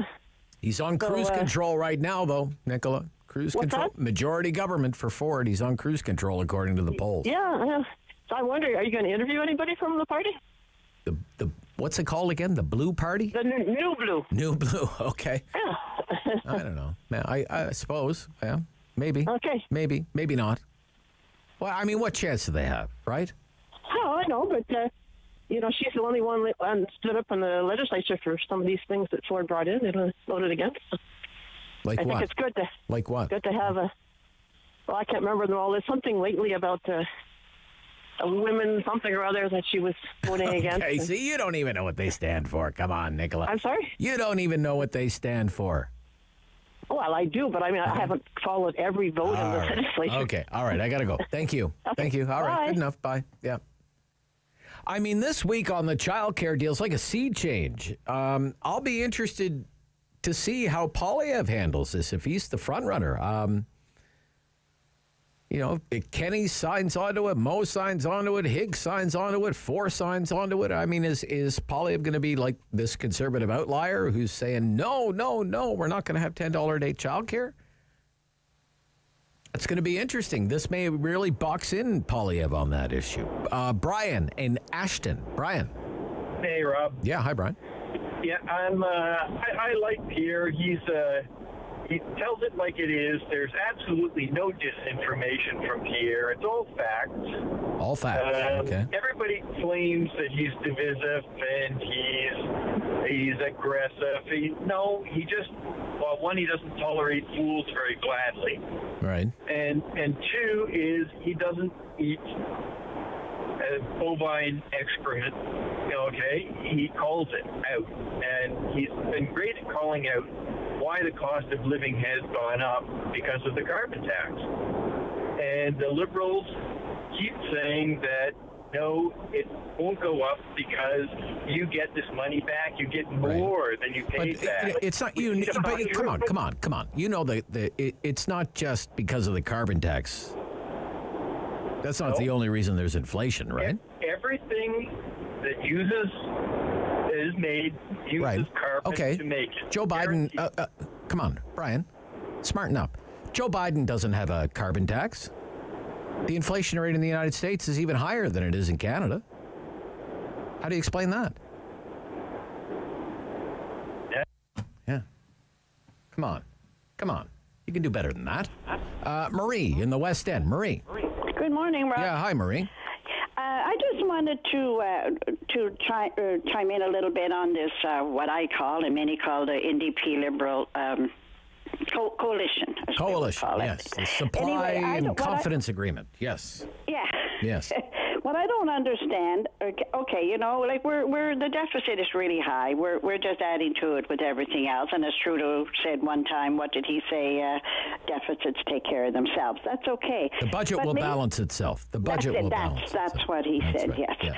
And uh, what I don't understand, I know, like Singh, you know, he wants his pharmacare and he wants his agri-care and that stuff, and it's going to cost a lot of money, and that's great, and the daycare program, that's fine. But what I don't understand with, with Singh, and maybe you can chime in a little bit, I don't understand how he says we're doing all of this for Canadians, we're doing that for Canadians, whatever, but still he is now going to support no matter what the Liberals come out with. Yeah. You know what I'm? Are you getting my? Sure, sure. I mean, well, you know, what happens if there's another WE Charity type scandal or another, you know, Yes. Jody Wilson Raybould SNC Lavalin type thing? That's right. Are they going to prop And up the I- liberals for I- the next three years if something like that happens? Exactly. Yeah. Exactly. I was talking to one fellow yesterday. I do an outreach at our church, and and he was saying like he doesn't understand how Singh could even do this because maybe that's the only way he wants to get what he wants. But uh, we'll see what comes in the budget, which he has to support no matter what's in it now. And he says he doesn't, but he's not going to bring down the government. I'm sure. He believes there's going to be this great payoff at the end, and and New Democrats will be rewarded for delivering the this expansion of social welfare and dental care and uh, Yes, and you're right. pharmacare. They're not going to get the credit. They're You're not right. going to get the credit. I You- just uh, I um, don't. you know, they like for example, if you go back, you know, Tommy Douglas is there fighting, right? He's fighting in Saskatchewan for Medicare, takes the fight nationwide f- for for Medicare, but in the end, it was Mike Pearson's government that passed Medi- Medicare. And the, and then when when he stepped aside, we had Trudeau mania, and you know what whatever it was, sixteen years of liberal government after that. Exactly. Right? Yeah, it, it somehow doesn't make sense. Yeah. And the other thing is, this young, this older man said to me yesterday. He said, how can we forget everything that this government has done, Trudeau especially, like all the uh, ethic scandals and the whole bit? It's not even brought up anymore. And he, a lot of people, like myself, maybe because I'm an older conservative or whatever, I don't understand how you can literally support somebody like that. And but anyway, I just wanted to get your opinion because I really enjoy your opinions on uh, Well, what's going to happen I, after this. I think Mr. Singh is accomplishing the ultimate goal for Mr. Trudeau, which was to completely envelop the New Democrats. well, that's well said. You know, I, agree. think I think I've had this kind of crazy theory. A lot of people think in 2015 that that was kind of like a comeback for the Liberal Party and a comeback for the Trudeau name, and in- maybe in part it was, but what it really was was kind of the uh, first election of a New Democrat government. A lot of people think, you know, Trudeau is the heir to Pierre. I don't think so. I think he was the heir to Jack Layton. I do too. Yeah. I do. I agree. Yeah, if you think, thank you, Marie. If you think back to 2011, right, the Liberals were in nowhere land. There was a big orange wave. And then, you know, unfortunately, Jack Layton passed away. And I think a lot of people on the left were, were still looking for that dynamic, uh, charismatic, kind of new left type leader who promoted things like, a, you know, a price on carbon and, um, legal marijuana, these sorts of things. And, you know, I think it's quite by design that that, that Gerald Butts and uh, Trudeau took that party totally to the left and, and coalesced that non conservative universe. It was, you know, and it's served them well. They won three elections. And the last one, they only needed 32% of the vote to do it. Myrna in Ottawa. Myrna. I'm calling about the good old carbon tax. A good old carbon tax. I went last night to Pierre's uh, Axe the Tax. It was Oh, yeah? first little rally. It was kind of interesting. Well, I heard it wasn't that little. no, it was big. It was yeah, very surprised. It was anyway. It was great. He came out really energized. Yeah. Uh, he spoke well. He's funny. It was um, it was quite endearing. But what I really want to call about, which I brought with me last night, but I didn't get to talk to anybody about it, was my January Enbridge gas bill. Okay. I paid thirty-three dollars and ninety-six cents in carbon tax, another twenty-three dollars and forty-one cents in HST, which is fifty-seven dollars and thirty-seven cents, off a bill that's two hundred and three dollars. So twenty-five percent 25% of your bill is Taxes. tax. Yeah. How is that sustainable? Well, And I ask everybody, I said, have you looked at your January bill just just by chance, you know? Oh no, no, they just pay them. They don't even look at them anymore. And and like it's it's the only place where you actually can see what the carbon tax is charging. right. And we're two little people in a small little bungalow.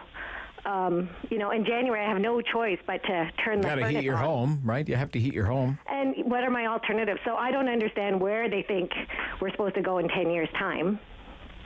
Well, in 10 years, that's going to be $170. Yeah. It'll be 170. Well, in, in eight years, it'll be $170 by the year 2030, the carbon tax. That on one month bill? Like this is one month bill. It's No, I'm t- saying it's $170 a ton. I can't. oh yeah. right. I know. Yeah, so yeah. you kind of do the math. Anyway, I just wish people would understand that, and we're not getting the money back, as you say. You don't think you're. They say you're getting every dollar you spend in carbon tax, you're getting. well, let's start keeping track of it. There should be an app for that, so that we can. Not only that, Myrna, not only that, you're probably better off at the end of the year. Oh, That's what they say. It's a moneymaker for you. You should you should crank up the thermostat. Maybe that'd be, be like winning the lottery, Myrna. Well, anyway, I don't.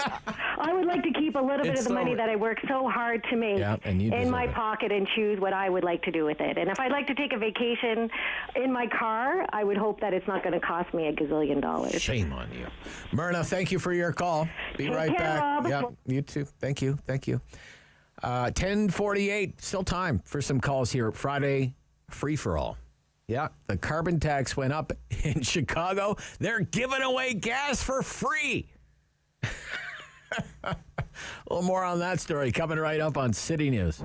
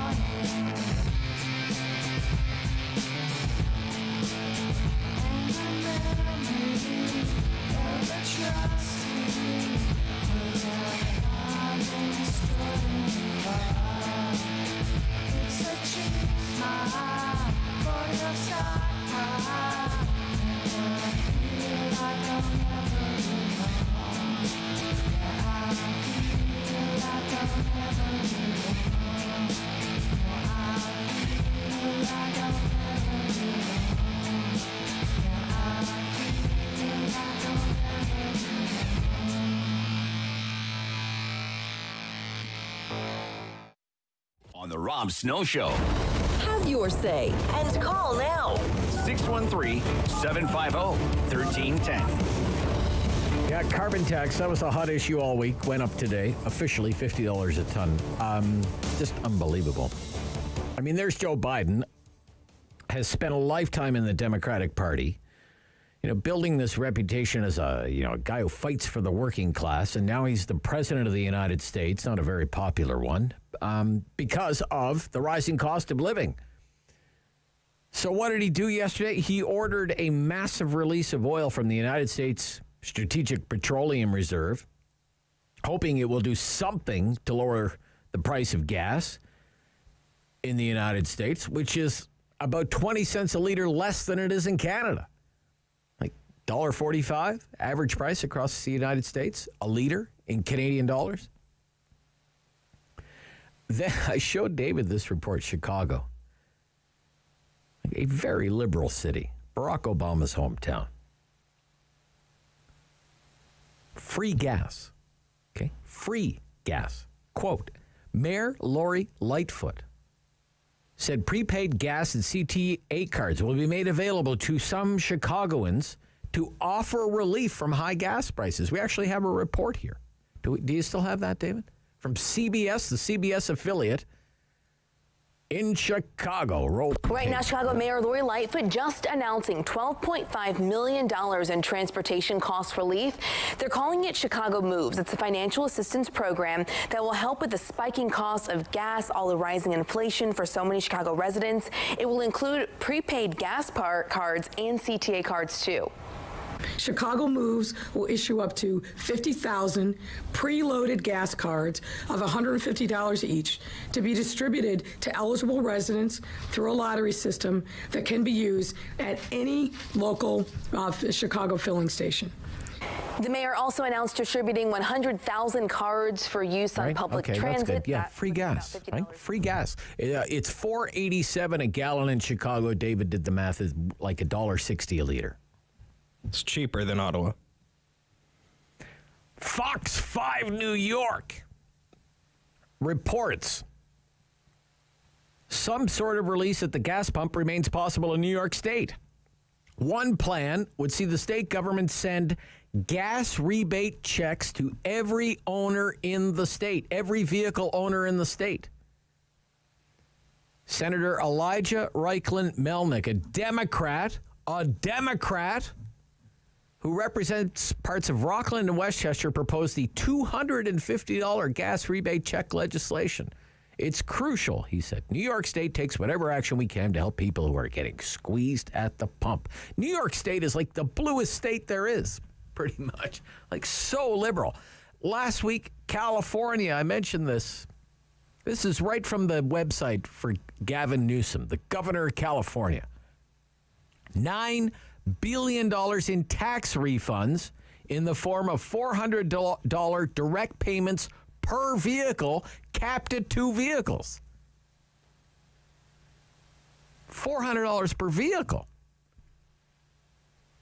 Tax refund, $400 debit cards for registered vehicle owners and individuals to receive up to two payments. An average California driver spends approximately $300 in gas tax every year.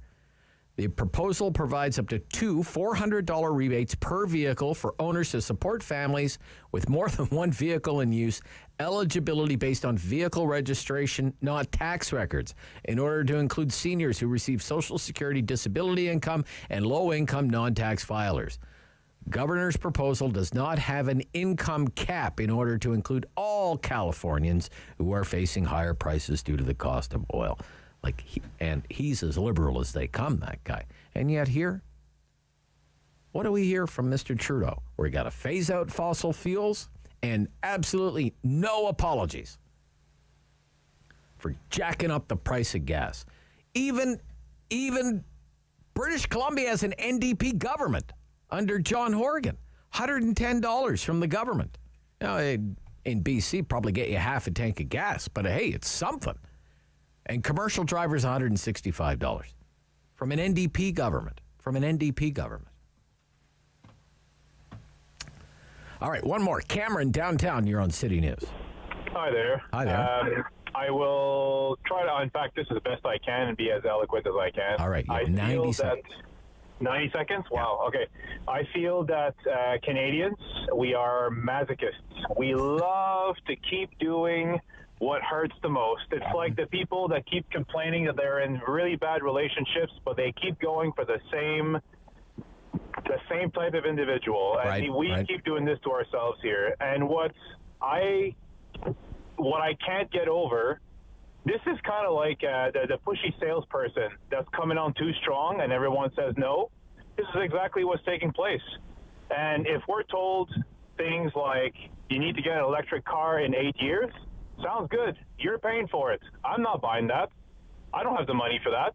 But if I'm going to be told to go home and eat cake, I hope that the people that have that attitude do remember what happened to the person that said that initially in history. Okay. I'm okay, so all to Yeah, say this. okay, okay, okay, okay, okay, okay. Well, okay, you know okay, where it's Yeah, going. yeah, yeah. I know where. I know. I know. I know. I know where that goes. It goes to the terror. Those were not good times. Okay. Okay. Right after the French Revolution. Not really the best period in history. Uh, but thank you for your call. Thank you for all your calls. We do the talkback hour every morning on the Rob Snow Show between 10 and 11 o'clock. Coming up right after the news from the Eganville leader, the latest from up the line, Bruce McIntyre will join us on the Rob Snow Show on City News.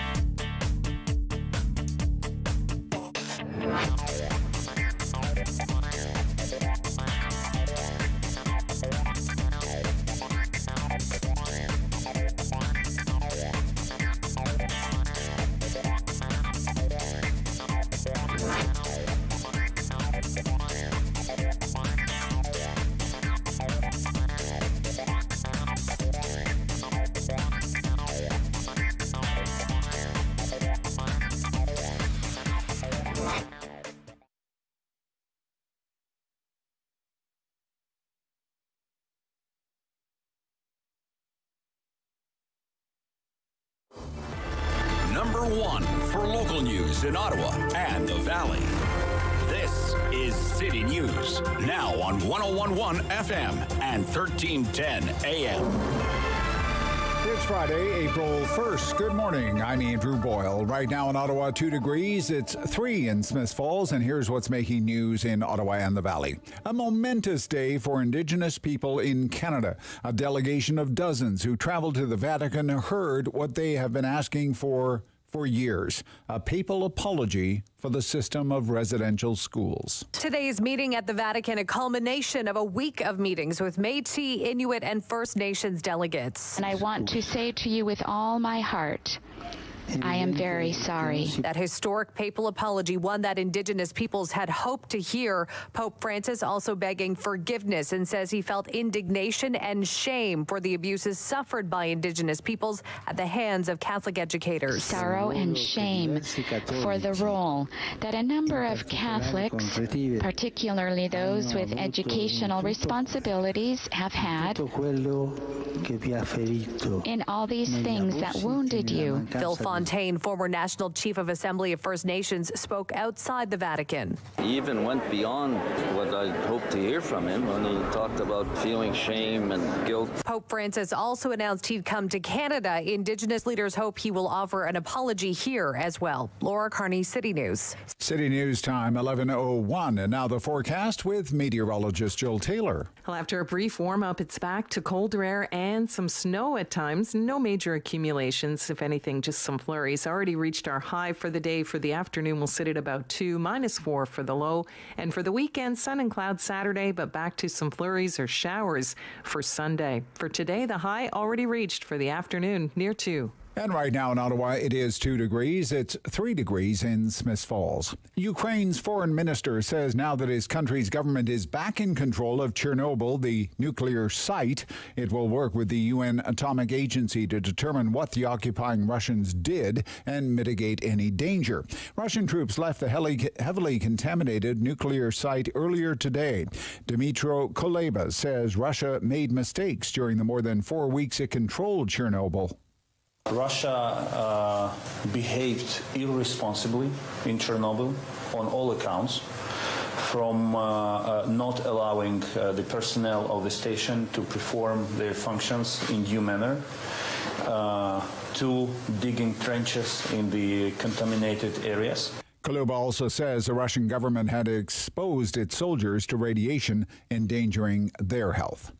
City News Time 1103 prosecutors played audio recordings and showed pictures from inside the Bataclan Theater on November 13, 2015. They have never been seen before in public and it exposed the horrors of what happened during this terrorist attack. Some survivors of the Paris attack cried while watching images of corpses piled up inside the concert hall. About 20 others left the courtroom in shock as the sound of music still played as terrorists fired their automatic weapons. 130 people died in the theater and other venues targeted by those terrorists. The province is investing $100,000 upgrading the Twin Elm Rugby Park. Minister in charge Lisa MacLeod says the upgrades will provide players and those watching a safer venue. Work will include to the septic system, change rooms, washrooms, as well as a new pad for posts and repairs to the field. City News Time 11:03 according to the Eastern Ontario Golf Course opening calendar. You will have five to choose from if you want to get out tomorrow when the sun shines and the temperature hits a balmy eight. Anderson, Emerald, and Cloverdale Links are all open, as is Crooked Creek and Timber Ridge. Also, a couple of driving ranges if you don't want to encounter things like temporary greens, which may be in place. Mare Bleu and Archie's ranges are both open as of Saturday.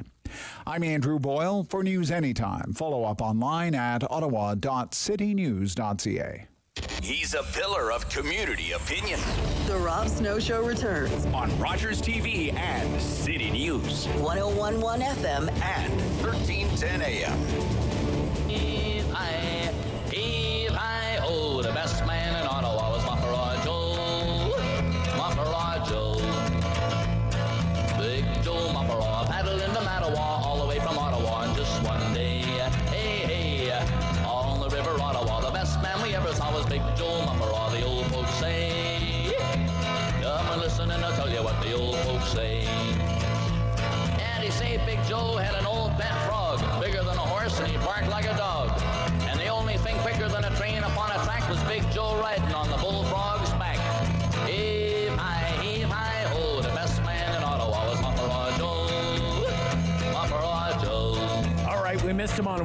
So he's here on Friday. Bruce McIntyre, our Valley correspondent with the Eganville leader, and from time to time, ottawa.citynews.ca. Good morning. Good morning, Rob, on a rainy, snowy day in the valley. You're in the valley today? I'm in the valley, in beautiful. Actually, I'm in a field in Pembroke, in an open field. really? What are you doing there? Well, two reasons. One, I'm trying to give Dave the best possible signal I can on the phone. as the Okay. And secondly, Clancy had to go do his business. Oh, I see. Okay. All right. Okay. Well, okay. Thanks There for you go. sharing. Thanks for sharing. No problem. Yeah. No. Actually, Da- you know, Dave, my producer Dave was saying, I think I'm going to move to Pembroke. Really? Yeah. Uh, well, uh, you know, it's it's housing, housing, housing, housing, and I, I said, well, Okay. you, you know, I guess you can move to Pembroke, but what you know, whatever money you save on housing, it'll go into the gas tank. So I mean, it's That's true. I tell you, I got long drive, long drive from Pembroke to Ottawa, like It, it hundred miles, hundred miles. You know, Yes. Oh, I disappeared. I'm sorry, sorry, Rob. Sorry. that's okay. Poop and scoop.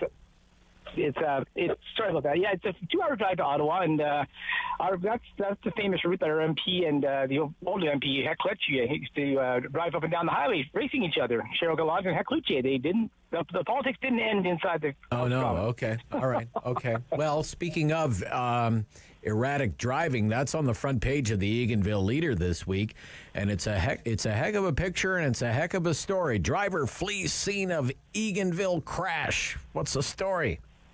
Uh, we wish we knew. We still haven't found that fine young person. Um, it, it happened last Friday during the busiest time in Eganville. That's when, uh, in the summertime especially, but it's a very busy stretch of road. It's basically Highway 60 meets Highway 41 is where it happened. Yeah, yeah. And somebody was just driving down. It, the neighbors heard his car crash and it smashed, and they went outside and they saw this car flipped over on their front, just on their front lawn, and uh, they saw a man walking, actually kind of limping away, and he fled the scene. And so the OPP, the, the kill detachment, OPP, were trying to find him, and they put out the call for the um, OPP tactical squad and the K9 unit. And you see that photo on the front page. That's Oh, yeah, uh, taken, yeah. that's taken about uh, 50 yards from Gerald Tracy's house. Oh, really? Okay. Yeah, they, the, the gentleman was uh, up in the Maple Ridge area. That's where Gerald lives, and they were actually on lockdown. They were told not to leave their homes for the day, for a couple of days. So Wow. it's interesting. They still haven't found him. I'm not sure. They haven't. They're pretty tight-lipped with the information. We're not sure why they're so interested in this person. I mean, it's it's uh, it, it, Maybe it's a fugitive. Maybe it's the fugitive. I mean, who knows, He, right? he is a fugitive now. That's for sure. if he wasn't before, he is now. So, But they still the haven't found this guy. I mean, I see the license plate. There's a license plate on the car and everything. So uh, Yeah, maybe he went to another place. He, maybe home to mom and dad. I don't know. We'll have to wait and see. But yeah, it's uh, but it's, every once in a while we get a little shake up. Uh, and the, it seems that for some reason we always seem to be there at the right time when the OPP and TAPTO are looking for someone. We had the uh, a couple years ago the man who murdered a Quebec resident to steal the van ended up down in Dacre.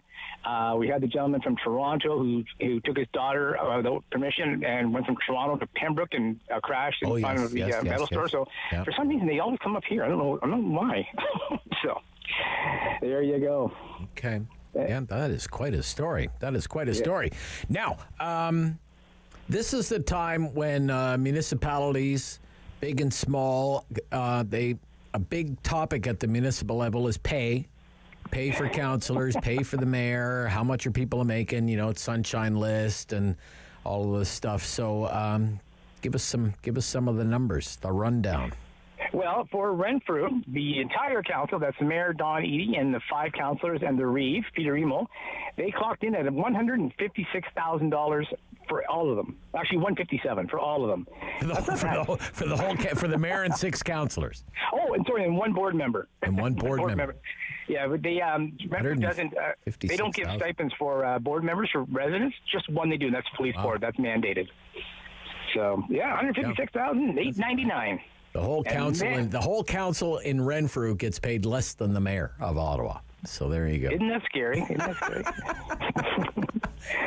but you know, Jim's in a league of his own. He's Mister. He knows everybody, so I guess he's worth his dollars. He goes to every event. Right. But, But let me ask you this, Bruce. Let me ask you this. I mean, you've been covering uh, that Renfrew Council for a long time now. Um, I mean, how does it break down? Like the mayor would make how much, a councillor would make how much? Do you know that offhand? Or Yeah, uh, well, the, yep. the mayor makes approximately forty-two thousand dollars. Okay, And okay. the Reeve, Peter Emon, he makes a bit more. Uh, actually, he, his salary last year was eight, 20, 22,000. Peter does a lot of traveling uh, as a past warden in Renfrew County, and he's he's a very good asset. He knows everybody in Queens Park, so he'll quite often go down and make some lobbying efforts. And the rest of the councillors average between 15 to between 15 to 17 to 22,000. So let's say 17, 18,000 is, is the uh, median. And the board member, uh, Mr. Uh, the, for the police services board, he received three thousand six hundred for the year, and that's a three hundred dollar increase from last year. so Right. Okay. Okay. Yeah. But like And this, they- this figure, 42,000, 42,000 for the mayor. Yep. Right. Is that considered a part-time job or is that a full-time job or, it or what? uh, Don. Don treats it as a full time job. I know that, for example, next Does he have another job? Does he have another Nope. job? No. He did. He, he used to own a drapery shop. Okay. And uh, he he sold that about ten years ago, and he concentrated on the mayor.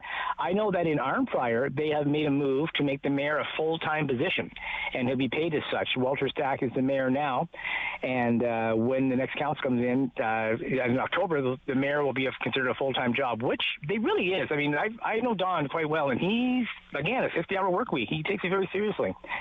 So they're worth they're worth their money, um, and uh, they work they work every dollar. Then we have the county councilors, Rob. Yeah, the I mean, county councilors are going to be paid more. Um, wow, um, quite quite a lot more. Although in the grand scheme of things, not huge, huge money. No, there, it's a, it's a 45, 46 percent increase over four years.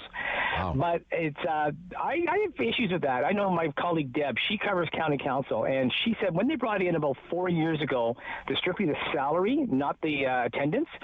She sees three or four empty seats every council meeting. Before there, you'd be very rare to see one empty seat, but now you're seeing three or four each meeting. They always make quorum, but some councilors they for some reason they just can't make it. They, they get paid anyway. And uh, we had a little debate in our office about that, and I don't agree. I think it should be attendance. Um, you're paid, you show up, you're paid. That's the way they've always done it. But they they made that switch about five years ago, and that raise that they voted in, it's not for them. It does not affect them this term. It takes effect in November when the new council comes in. So that way, uh, one thing they do very well is most councils do not um, set the pay grid by themselves. They'll do it for the following, for the incoming council, or they'll have a citizens group do it because it's not fair to ask someone how much are you worth. It's it's not, it's not fair to put on the councilors or the elected, and I think that's a good system they have. Okay. So, and they, uh, they all voted in favor except for one, Mayor Jennifer Murphy. She voted against it. Uh, she's the mayor of Bonnechere Valley, Eganville. You could say she did it on principle. You could say she did it because of an election year. Who knows? you know, Right. when she when she goes to the ballot box, I didn't vote for that. It wasn't me. So, but um, she also is very very prudent with her money. So I think it's more. I think it's half and half. Okay. Uh, tell us about uh, the OPP uh, and calls for service in, in Pembroke during the pandemic and what trends the OPP was uh, was. Yeah, it's it's very strange. Uh, uh, Inspector Neufeld, the detachment commander for Upper Ottawa Valley, was making a presentation to Laurentian Valley Council, and the numbers were down for certain areas. And they said, "Don't don't get too excited. I think those numbers are skewed because of COVID." And he said we had a huge spike in suspicious vehicles calls. And he said all of a sudden uh, people are working from home. They haven't been at home during the week for years, and they see a blue Chevy out there. What's that car doing out there? And it's been out there for three days. I'm calling. And for all they know, it's probably gone at nighttime when they get home, but they had a large increase in suspicious calls, uh, vehicles. They had a very big drop in property damage. Again, people are home during the day. Uh, uh, drop in uh, a rise in violent crimes, unfortunately, violence involved. But the biggest change was he said his OPP officers were suddenly mediators. They've always had the odd call for service when a, uh, a custody is taking place and the, and the husband and wife are arguing and the child's involved. They're, they get them once in a while, but they were getting more and more calls um, dealing with uh, COVID. Uh, he gave me a specific example. A woman uh, did not was not going to release her child because her husband worked at Pembroke Regional Hospital, and because it was highly contagious, there was a breakout there. She was not going to let her son go home with him for the weekend. And there you have the OPP officer in the middle of this. Like, what do you do? Like, is, is she being realistic and is she being sincere or is she just being malicious, finding an excuse not to let the, the child go? But they, whoever has a court order says they get them, they get them. But they were more and more calls, and Stefan said it's, it's still going on. Um, something they're not trained for that. They're not trained to be social workers. They're trained to be police officers, and they were found they found themselves very uncomfortable in awkward situations, especially when they go up by themselves. They, they don't they don't go in uh, pairs up here. They're single vehicles, and they go by themselves, and they always get a backup if something was going on. They call for the backup. And another thing that they, they got was they got very few calls on people wearing not wearing a mask in a store. And Stefan said they didn't go. They they didn't they didn't bother attending. If unless there was something really serious, they went to one. And the people were there with a video camera. They, was a setup. They wanted to see how the police would react. Oh, I see. Okay. Yeah, but over, overall, they didn't attend those calls. They just said nope, nope. And uh, impaired driving was up, um, which again happened in Ottawa as well. Yeah, there was As, a uh, story about that yesterday. Yeah. Yeah. yeah, so that's yeah. that's kind of a common trend. So Stefan said, wait till next year, and we'll see if the numbers are coordinated. Because he wasn't going to adjust his scheduling at all or operations. He said, this is to me is an anomaly, and we'll see what happens next year. If this is the trend, then we'll readjust our scheduling and our operations. Really interesting. Okay. Yeah. Uh, just a weekly scan of the want ads. Boy, this place, um, uh, Bonnechere Manor, always hiring there. They're always hiring there, um, and it really it shows you kind of like the the the uh, hierarchy of healthcare. So they're high, they want an RN. They need a RN, part time hours RN. Uh, starts in year one. Let me see here. Uh, 47 bucks an hour. Second year, 49 bucks an hour. Third year, 56 bucks an hour. Uh, and by the eighth year, you're making f- almost $57 an hour. Okay? That's for the RN. The RPN starts at $32 an hour, and the PSW starts at 26 But that, that includes your paid lunch break. Yeah, but always hiring that place. Seem- Well, it's, um, long-term care is a very, very difficult job. I, have, I know people have blown their backs out, you know, lifting the, the yep, residents. yep, It's, yep. it's, it's not easy. It's not an easy No, and it must be you even more difficult now to attract people into that space. Yeah. So, all right, Bruce, we'll talk next week, eh? Thank you, Rob. Hopefully. Enjoy the weekend. Yep, and thanks. for all your listeners, it's Maple Syrup Festival up in the valley. Come on up and get some maple syrup. Okay, great advice, Bruce. Thank you. Thanks, Rob. Bye bye. From the Eganville leader.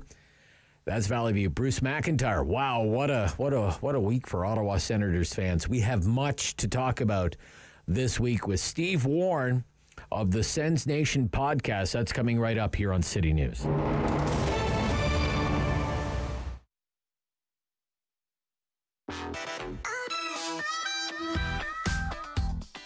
It really is a tremendous source of excitement and joy for the theater staff and I to welcome artists finally back to the theaters. It was a tremendous pleasure to sit on the selection committee. We really have something to cater to all musical tastes, from trippy art pop to straight ahead rock and roll to soul and funk. Um, but it's huge for us to be able to welcome local artists back into the theaters um, to showcase their amazing talents um, for people here. Up to the top is where I'm headed and I'm going. You know what? I've checked out some of the stuff already before uh, doing this. I've been hyped and, and, and ready to do this because uh, it's definitely being done on a major level. And, you know, I'm here seeing it in person right now, and I'm like, wow, you know, this is what it is, man. I'm, I'm happy to be here. This kind of concert series promotes music and gives us uh, newcomers or even like new bands a big chance to uh, showcase their talents and share their music with the world. It's amazing that OMIC has organized this and given an opportunity for artists to perform, but also um, be part of something that they wouldn't, we wouldn't, you know, I wouldn't be able to create this just on my own. So everybody's talents comes together to create something great. It says a lot about the city that they are engaging the processes that get those musicians out and get them in front of people and the music is getting heard. So we don't have a thing where like everybody's the best kept secret, right? We're sort of breaking through that wall a lot and which is exactly what we need. Well, first of all, I'm really grateful for this opportunity. For me, it's a little bit like being officially part of the local artist community in Ottawa. And uh, it's like my first real big show where I'm gonna be performing my own songs, so it's really exciting. the hell's going on? Why still holding on? You know, it's a great opportunity for us artists to be able to really get a, a reach to an audience uh, and uh, a good, uh, good quality audience too. I'm just happy that I can be involved. I'm happy that I can add value. It's top tier, top tier for sure. It really is like a dream come true, especially having so many restrictions in the last couple years, not being able to jam because we couldn't get together, and then to be able to do it in a beautiful venue like this with the seats in the background and just the whole entourage of it, and really feeling like we're able to put on a real show for the first time in a long time. It's, it's just fantastic. It really is great.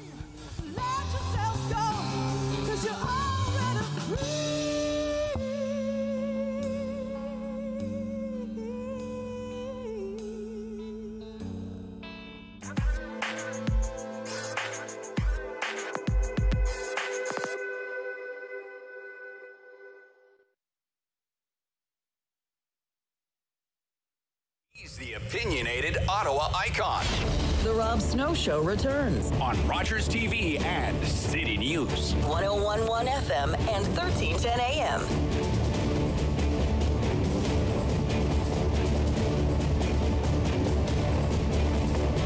There is so much to talk about about the Ottawa Senators this week to, as we welcome back from the Sens Nation podcast, sensnationhockey.com, Steve Warne. Good morning, Steve. Morning. Good morning, Rob. How are you? My gosh, uh, what a week to be a Senators fan. Um, the stunning news about the passing of, of Eugene Melnyk. Steve, uh, you've been a, a sports broadcaster in this town for decades a tenure that in- includes the entirety of the ownership of uh, Eugene Melnyk of the Ottawa Senators. What what are what were your experiences with him? Um, your impressions of him, uh, Eugene Melnyk? Well, he was a guy who was passionate uh, about business and hockey, uh, but he was also difficult. He was volatile, and most fans would know that he was frugal. And I think uh, that, that really led to some strained relationships with employees, the media, and the fan base.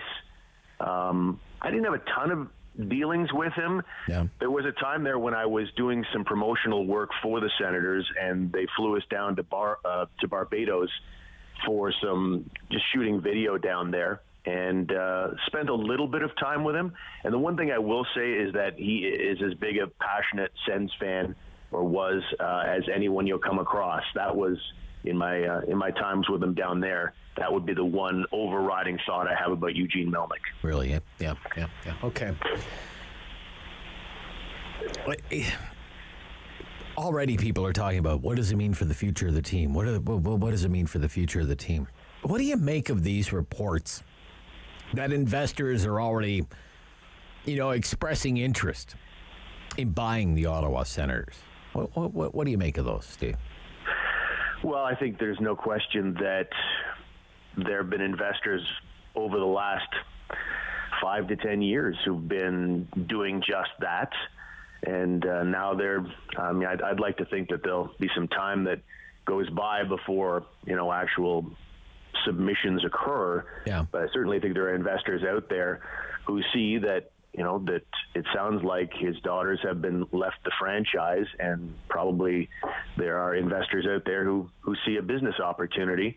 And uh, yeah, it wouldn't shock me at all if if that's happening right now. And and that's that's the big big two questions. You know, who's going to be the next long term owner of this team, and and will the Sens reemerge as a LeBreton Flats partner and eventually move downtown? Yeah, yeah. Because that seemed that seemed over that whole LeBreton thing, right? I Oh, mean, yeah. it seemed if anything they were they were he he was more interested in either I don't know renovating Canadian Tire Center or blowing it up and building something new there or or or whatnot. I mean, there's a lot of land out there, so. Um, but now maybe LeBreton is very much back in play. Who knows? I mean, it's just Well, I don't think there was ever a time where Eugene Melnyk was not interested in a downtown rink. I just don't know how interested he was in paying for very much of it. right. Um, I, I just I, I think you know, there's, there's no question now. I think that um, Melnyk was probably your biggest roadblock to a downtown NHL arena because you know there was lawsuits happening. You've heard what Jim Watson has had to say, and there was just a lot of eye rolling and uh, upset about the way Melnyk had handled those negotiations. So you'd have to think with new ownership that that reopens the possibility of a move downtown. Okay. All this talk about Quebec City this week is just kind of strange to me. I don't know why Ottawa would want to share the World Juniors with a city that's like four and a half, five hours away. And uh, even more bizarre is why the Senators would give up any home games that to have them in Quebec City. Um, I, I, guess maybe Quebec City would compensate the Sens for the lost gate or whatever, but uh, just what do you make of these these stories, Steve? What's with all this talk about Quebec City this week? Well, I think it's uh, Anthony LeBlanc the director, or the or rather the president of business operations. Uh, he basically admitted that yeah, there's some talks going on right now between uh, Ottawa and Quebec City about the idea of co-hosting the World Juniors together, and in the process of that, I guess that Quebec City had overtures for the Sens to maybe play five games there, and particularly right now when Sens fans are feeling a little uncertain about you know the new world order. Yeah. Uh, LeBlanc probably should have shot down the idea completely. Yeah. Uh, he's actually quoted as saying, "We've told Quebec City that's interesting, but that's as far as it's gone." Uh, probably the word "interesting" in there is uh, concerning, but anyway, um, I think that it's, it's, certainly a possibility. And, it, and, and I guess beyond Quebec City, who else was uh, in on this was was Gary Bettman helping this along? Was Mr. Melnyk himself maybe seeing the attendance right now as a concern? Mm. And if Quebec City is willing to pay, say, the equivalent of five sellouts, then maybe that's something we kick yeah, the tires maybe, on. But yeah, maybe. But you know, the ultimate goal is for Mr. Péladeau to get a team, right? He's got a building but no team, and not only does he have a building, he's got a news network. He's got a sports news network. I mean, in in kind of this world of, of sports media integration, you know, it'd be a perfect fit. But I think Quebec City's got to get over it. They're never getting a team. They're never getting a team. Gary Bettman's job is to grow the the league, the NHL, and that means putting it in cities where people don't watch hockey. And putting a team in Quebec City, people watch hockey in Quebec City already. That doesn't do anything for the National Hockey League, to me. Yeah. and I think you know I don't know if Quebec City's ever going to get a franchise or not. I do know this though that they're not getting the Ottawa Senators, and this may well be. And I think the Sens are not happy with the timing of all this speculation getting out there the same week that Mr. Melnyk passes away. Yeah. But it may have been a pre-planned shot across the bow. We start talking about Quebec City and the Ottawa market, and uh, and maybe that helps grease the skids, um, and uh, you know gets attendance up gets the city of Ottawa and the NCC excited about, oh no, they might lose the team to Quebec City if we don't, you know, make things happen. I don't know. It's all speculation, but the timing is very, very curious. Okay. You know, Steve, when you join us next week, it'll be the second round of the Masters.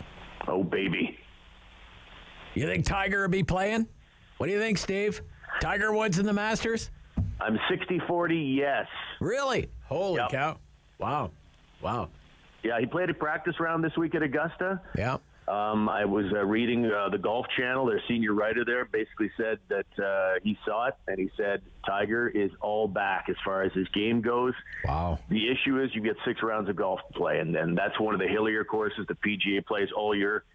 Uh, Augusta National, you get six rounds with a practice round, pro am, four competitive days.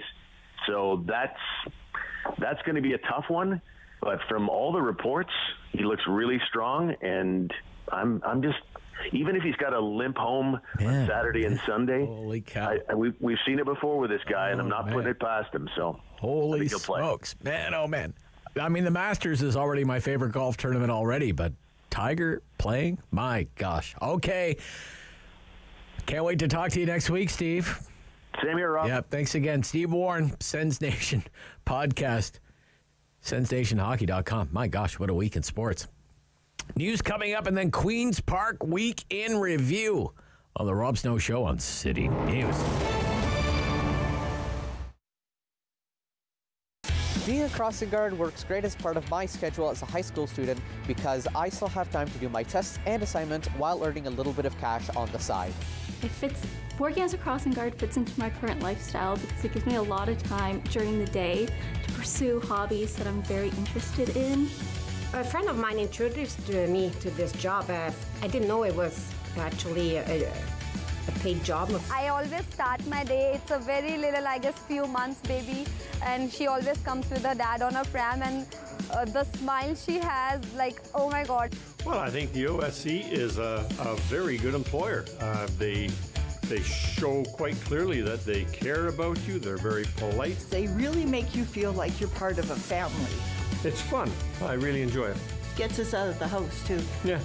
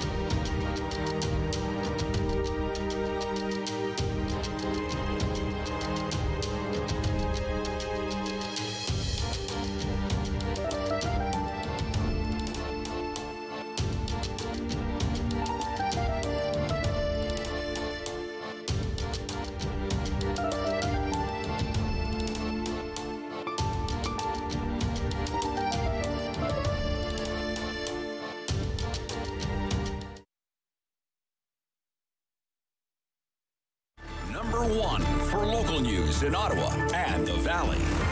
This is City News, now on 1011 FM and 1310 AM. This is Friday, the 1st of April. Good morning. I'm Jason White. Right now, a gray, cloudy sky, 2 degrees in Ottawa. It is 4 in Smiths Falls. Here's what's making news right now. Breaking news from Canada's top public health officer who says more waves of COVID 19 are likely as the virus is still circulating widely and further resurgence is possible. She points to federal modeling and urges anyone who is not vaccinated against COVID 19 to do so soon to stave off serious disease or even death from the virus. Ontario's health minister says it is not necessary to reintroduce public health measures to control COVID 19. Christine Elliott says the current rising cases wasn't unexpected after the province ended most public health measures like mask mandates. Gatineau police charging a third person in connection with a fatal fire back in January. Steve Saray arrested at the Hull jail where he was already being held in a different case. He's now charged with arson, endangering human life, conspiracy, and second degree homicide. The province is spending $100,000 to spruce up the Twin Elm Rugby Park. Sport Minister Lisa MacLeod says the upgrades will provide players and spectators a safer venue. The money will go into things like work on the septic system, change rooms, and washrooms, as well as new pad posts and field repairs. City News Time 1133. I'm Jason White. For news anytime, follow up online at ottawa.citynews.ca. Strong voice. Strong opinions. Rob Snow Show returns on Rogers TV and City News. 1011 FM and 1310 AM. Okay, the gang's all here. It's time for Queen's Park Week in Review. And oh my goodness gracious. This is the original Queen's Park Week in Review gang right here. We have on the line today Gilles Bisson, new Democrat from Timmins. Where are you today, Gilles? Today I'm in Whitby. In Whitby, okay, in Whitby, okay, all right. Uh, John Fraser, Liberal, Ottawa South. Where are you, John? I'm in Ottawa South. In Ottawa South, and guess who's back? The Yak is back. The Yak is back. John Yakabuski, Renfrew, Nipissing, Pembroke, PCMPP. Welcome back. Good to be back. Well, John Yakabuski. My goodness gracious, it's been too long. We need you to sing us to the finish line with a little kumbaya later on, just for Yeah. old time's sake. Now, It's like a, re- a reunion tour. The band it is a reunion. It is a reunion. Yeah, I'm loving it. Okay. Well, the big deal this week is uh, Trudeau, Ford, the agreement $10 a day childcare coming to Ontario with uh, savings retroactive to, to April 1st when everything gets sorted out. The question will be, John Yakabuski, what took you so long? Well, uh, there, that, that's a good question, uh, Rob, and I, and I know that my friend Mr. Fraser and Mr. Bisson will will be should be very happy that we took the uh, ordinate amount of time to get to get a good deal, the right deal for Ontario. Because the reality is that uh, uh, Mr. Del Duca and uh, Andrea Horwath were clamoring to take the first deal that was offered. And our government said, no, our job is to ensure that we get the best deal for the people of Ontario. And that's exactly what we've done. This bill, this uh, deal amounts to an extra $3 billion essentially over six years, not five, over six years. So we've got $3 billion and another year to ensure that the right deal was made for Ontario families. And of course, uh, a beginning in May, retroactive to April 1st, uh, parents will see a 25% uh, reduction in their child care costs and a 50% reduction by the end of the end of the year. And we have to remember that this is hugely important. And of course, the I mean, it's a, it's an initiative the by the federal government to work with the provinces, and that's why we made sure that we got the right deal from Ontarians. Because in the previous government, as uh, John Fraser would know, child care in Ontario went up 400% under their watch.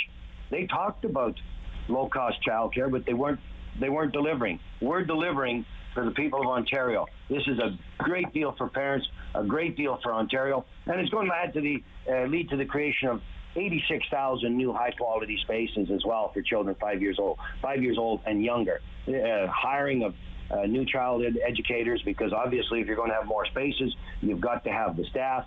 And uh, we're looking forward to uh, seeing this um, manifest itself in the in a deal that works All right. uh, Okay, that works best for the people of Ontario, the parents, and allows uh, working families to feel comfortable um, about uh, their participation in the Ontario economy. All right, John Fraser, uh, uh, uh, certainly a better deal. Uh, John Yakabuski says than anything that your government managed to come up with. Uh, how do you Well, respond to that? I just, uh, I would just say to them, full day kindergarten that's been going for eight years, it's saved families thousands and thousands and thousands of dollars each year in childcare. But here's the thing this is what I'm trying to figure out. I don't know how you say something's retroactive when it's in front of you. So, like on the beginning of the week, he said it's going to be retroactive to April 1st. Retroactive means from behind you. What they really should have said is it's going to start April 1st when you say retroactive, it's like what we're saying is retroactive to January 1st, where we're saying each family should get back 2750 per child because they had to wait six to seven months more than anybody did in any other province. So But the- our deal I don't goes know how another year. up the world retroactive. It's not retroactive. It starts today. it's like they announced it on Monday. It starts today. It wasn't retroactive. Nothing's retroactive. All right, hold on, hold, hold on, John Well, Yakabuski. I want, if that's uh, your biggest criticism. I guess we got it right because we're doing it an extra year. It's going over six years. all right, hold on, hold. Let me hear from Gilles. Let me hear from Gilles. Let's hear from Gilles. Let's hear from Gilles. Let's hear Gilles. Well, Gilles, listen, go ahead, you Gilles. know, the government, you know, apparently the government uh, held out in order to get a better deal. Yeah. What they ended up was exactly the same deal as every other province got. The additional money is just them acknowledging they're going to get money in the sixth year and they're going to move it forward. That's all that is. Uh, every other province of Ontario can get exactly the same deal just by renewing the agreement after five years. So this is not holding out to get more money yes, the government tried to hold out to get more money, and I, I understand that, and as a taxpayer, I respect that. Uh, but it's all out of the same taxpayer, no matter who pays for it. Uh, but in the end, they got the deal that everybody else got, and we didn't have a program in place six, seven, eight months ago, nine months ago, when we could have. So a lot of parents were without daycare uh, that could have been provided uh, in a much more affordable way because Mr. Ford said we're going to get a better deal. But at the end, all they're doing is they're saying, here's the money for the sixth year. It's like saying, hey, guess what, Rob? Uh, I'm taking your salary that you're going to get over the next five years, announcing that's what you're going to get in five years. And by the way, you got more money because I just added the sixth year in the deal. It's still the same amount of money. Rob, no other province has a sixth year, which there is no assurance from the federal government that there will be anything after five years. We Of have a course six-year there is, deal. That is a big Yeah. John. It's three billion dollars more for the people of Ontario. John, the people from this year behind us last year, right? They're not getting any money, whereas people in other provinces did. They're out. Yeah, you've added another year on the end. You didn't get more, you just moved it out. And what we're saying is there's a bunch of families that should have got more affordable childcare this year, but you waited because you wanted it to be closer to the election. I'm just, I just don't think they should be out. Any truth to that, John Yakabuski? Do you, you, you drag this out? Do you rag the puck, John Yakabuski? Your government rag the puck here for election timing, John, or what? Absolutely not, Rob. Uh, as, as you know, as we said from the start, when the first deal was proposed, we said this is not the right deal for Ontario. Hmm. We're going to continue to negotiate with the federal government to make sure that the deal that we sign at the end of the day is the best deal for the people of Ontario. And that's what we are absolutely confident that we have done. But they got, but, but, but my last point, I just going to go Right, back right. and say what Okay, I did. okay, We essentially got the same deal that every other province did, except they mm-hmm. added the sixth year in, and the federal government will renew this in five years. Every province will be able to get the same thing. So we were out for about nine months of childcare for parents out there because the government tried to get a better deal, and I understand that, but they didn't. So let's not pretend. Right. Okay. So, so, so, what would the New Democrats have done? Well, listen, you know that we have been for years advocating that we move to ten dollars a day daycare. Shelley Martel, when she was a, when she was a member, uh, and Howard Hampton was a leader, we were advocating that. And I'm glad that the federal government finally came around because the federal NDP has been pushing that issue federally. So we think this is a good thing. Parents need help when it comes to daycare, and absolutely, this is good news. But let's not pretend that we got a better deal than we did. Okay. And John, what would your party be doing? What I just told you right now, we would make it retroactive. We would have signed a deal earlier. Right now, what we're saying is we're going to make it retroactive to January 1st, which means 2750 per child, per family. Right. What about it done? I mean, it's people need the money now. Right? Okay. Need the money now. It's easy to say what you would have done. I would have bought the winning lottery tickets if I knew what the winning numbers were, but we're the Well, ones, John, the we ones don't that have that actually ability. signed the deal, and we've signed a deal that is the right deal for the people of Ontario. Okay. Do you think, John Yakabuski, I haven't talked to you in a while, so I want to ask you, but this is kind of a turning point for for conservatives or even progressive conservatives. Um, you know, this, like, elections have been fought and won and lost over this whole issue of whether we should have a, a program like this, like a Quebec style daycare program. Um, you know, Mr. Harper, for example, did, uh, you know, he didn't prefer, uh, you know, big, big, big government, a big government social program like a child care program. He, the, the alternative being, let the parents decide and and you know give them money so that they can uh, pay for childcare on their own. This was part of the pitch from the premier four years ago. Uh, but now, I, I don't know. We have uh, Doug Ford has signed on, Jason Kenney signed on, Scott Moe, Blaine Higgs out in in in uh, New Brunswick is a is a conservative premier, a progressive conservative premier in Nova Scotia. He's part of it. A progressive conservative premier in Prince Edward Island signed on to this. Like, is it are uh, are, are PCers like now? They've come around and realized that there's value in this kind of program, John. Like, what what has led to this change? I, Yeah, I, I think it's fair to say, Rob, that uh, there was never a, a federal offer on the table uh, to finance the uh, the bulk of this program. Right. And uh, they talked about it many times at the federal level in different parties, but the reality is that uh, they have now come to the table with significant amounts of money because the provinces certainly had to consider, consider their fiscal abilities to uh, to do these on their own. So now you have a, a partnership between the two levels of government. It made it uh, made it a better deal. for Trudeau made you an offer you couldn't taxpayer. refuse? and that's what uh, that's what uh, when we saw a deal that made sense for the people of Ontario, and we were able to uh, make improvements to that deal. Uh, we were ready to do it. All right, let's move along here. I had um, some health experts on my show this week. I know uh, our news team has worked hard on this story all week. Same with my colleague here, Sam LaPrade at City News. Sixth wave, guys. Sixth wave of COVID 19 is here. Sixth wave. Um, should the government be doing anything? There, there, there is. There, there, like we haven't hit a level yet where the government seems to want to, you know, reimpose capacity limits or bring back a mask mandate, anything like that. Um, just kind of going to kind of ride it out here, I guess. Uh, what do you think about that? Let's uh, ask that to Gilles Bisson. Gilles, what do you think, Gilles? Well, I think, yeah, we are getting into a sixth wave. I think we all know in our personal lives more people that have got COVID now than before. I, I know I know in the legislatures at least four or five people who are members have got COVID. We haven't seen that in a while.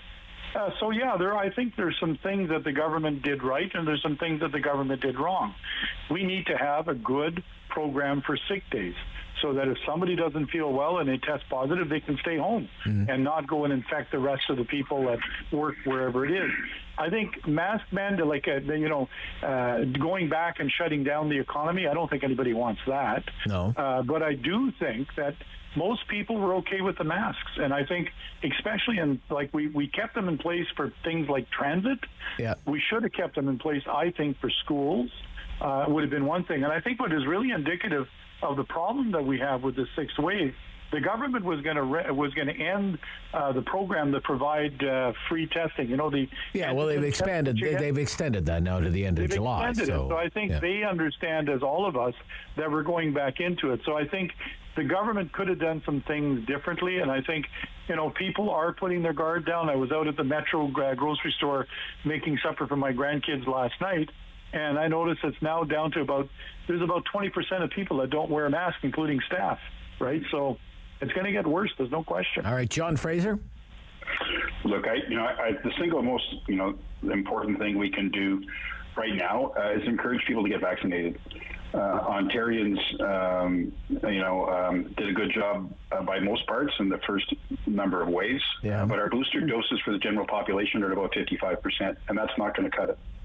And for our kids, uh, we're at the back of the pack in, in Canada. It's five for five to 11 year olds. You know, about 55% have got a first dose, less than a third have a second dose.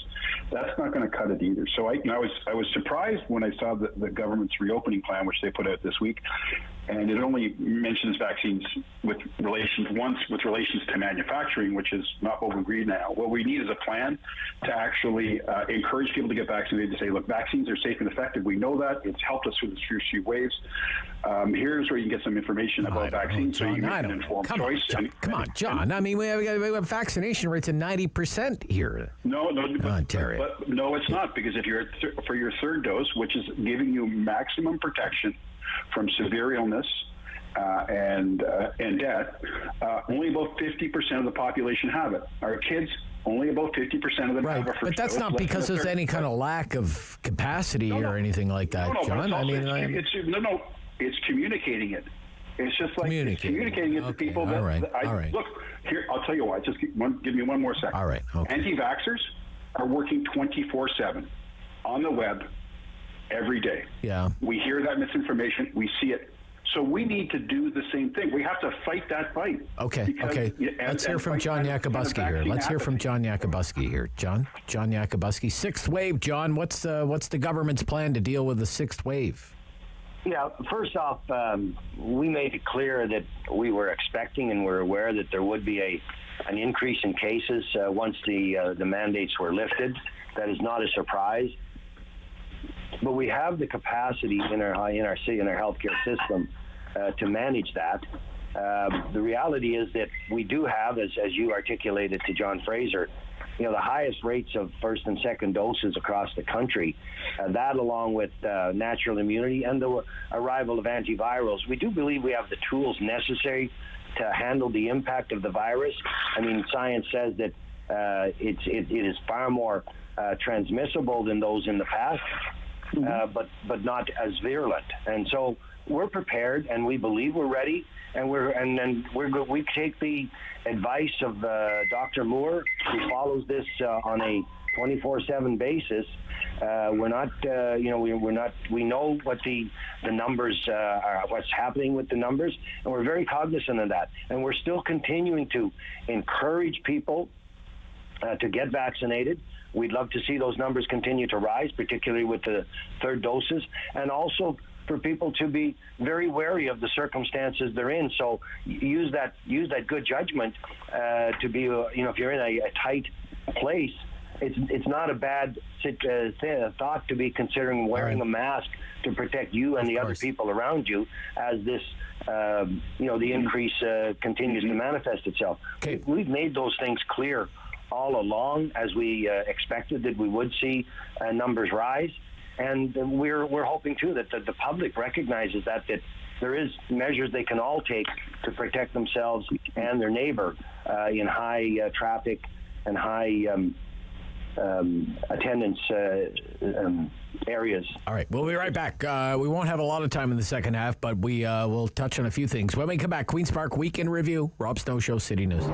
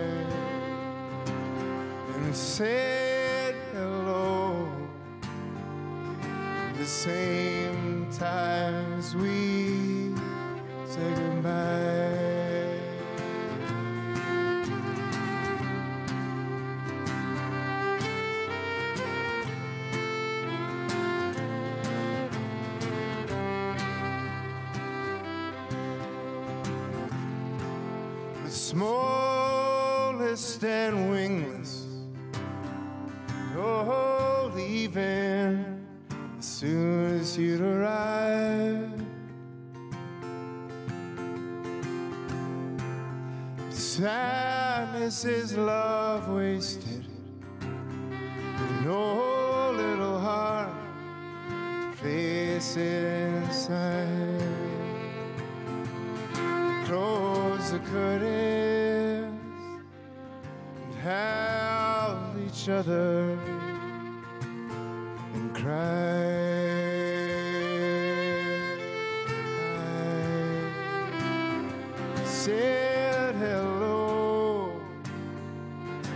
same time as we close the curtains and held each other and we cried.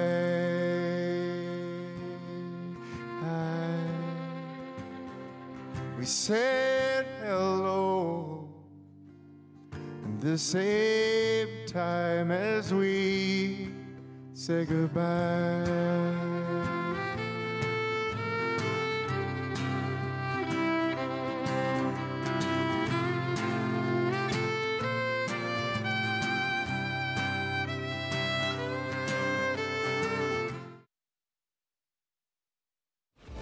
World is changing. So keep up with Rob. The Rob Snow Show returns on Rogers TV and City News, 1011 FM and 1310 AM. So we're back with John Fraser, Liberal MP, Ottawa South, Liberal MPP, Ottawa South, uh, John Yakabuski, Renfrew, Nipissing, Pembroke, Progressive Conservative, and uh, Gilles Bisson, Timmins, New Democrat. Look, we only have three minutes left, so I'm not going to get into a heavy duty, heavy duty topic. I will say this though, John Yakabuski, one of my f- fa- most favorite memories of Queen's Park and covering Queen's Park is Dalton McGuinty has a minority government. And there are all kinds of rumors that he's trying to entice people to cross the floor. Because he- wasn't too many sheets, uh, seats shy of majority, as I recall. So if he could just get a few people across the floor, the Liberals would have their way again. It wouldn't have to be propped up by Gilles and the New Democrats. and Dalton, Dalton McGuinty, stands in the in the legislature and says, "We'll take anybody, Mr. Speaker. We'll take anybody but Yakabuski."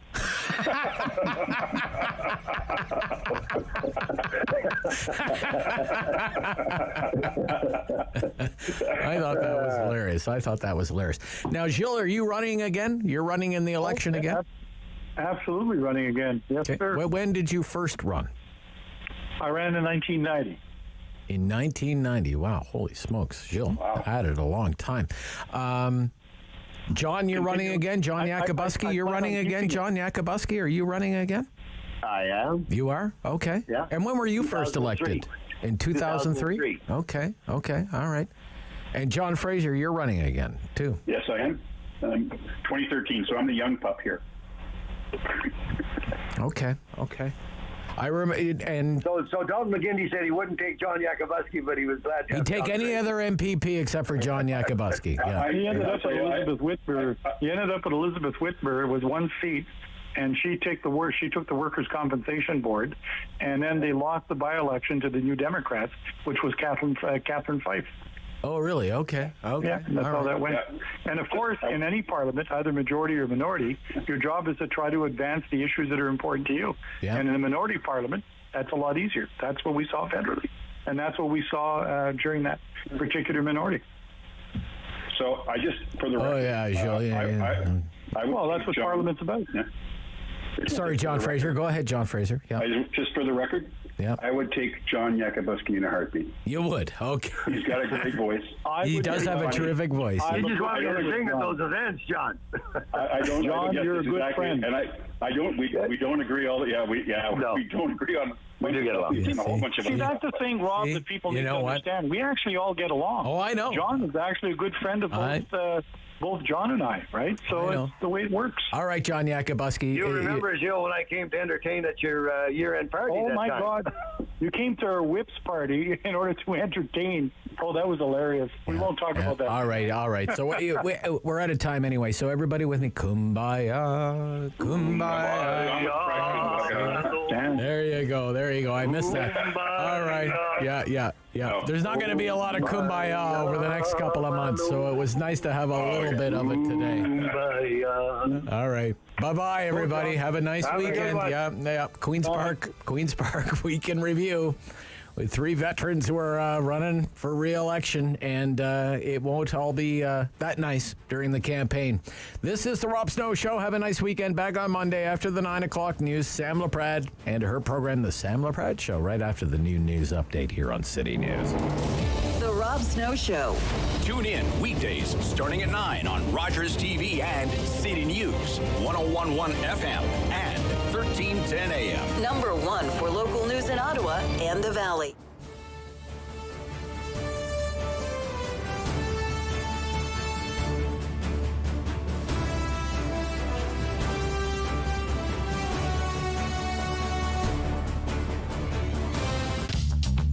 This program is brought to you by Ignite TV.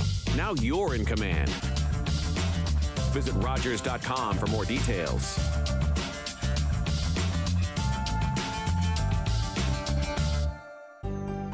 Call the Rogers TV viewer response line, email us, or connect with us on social media.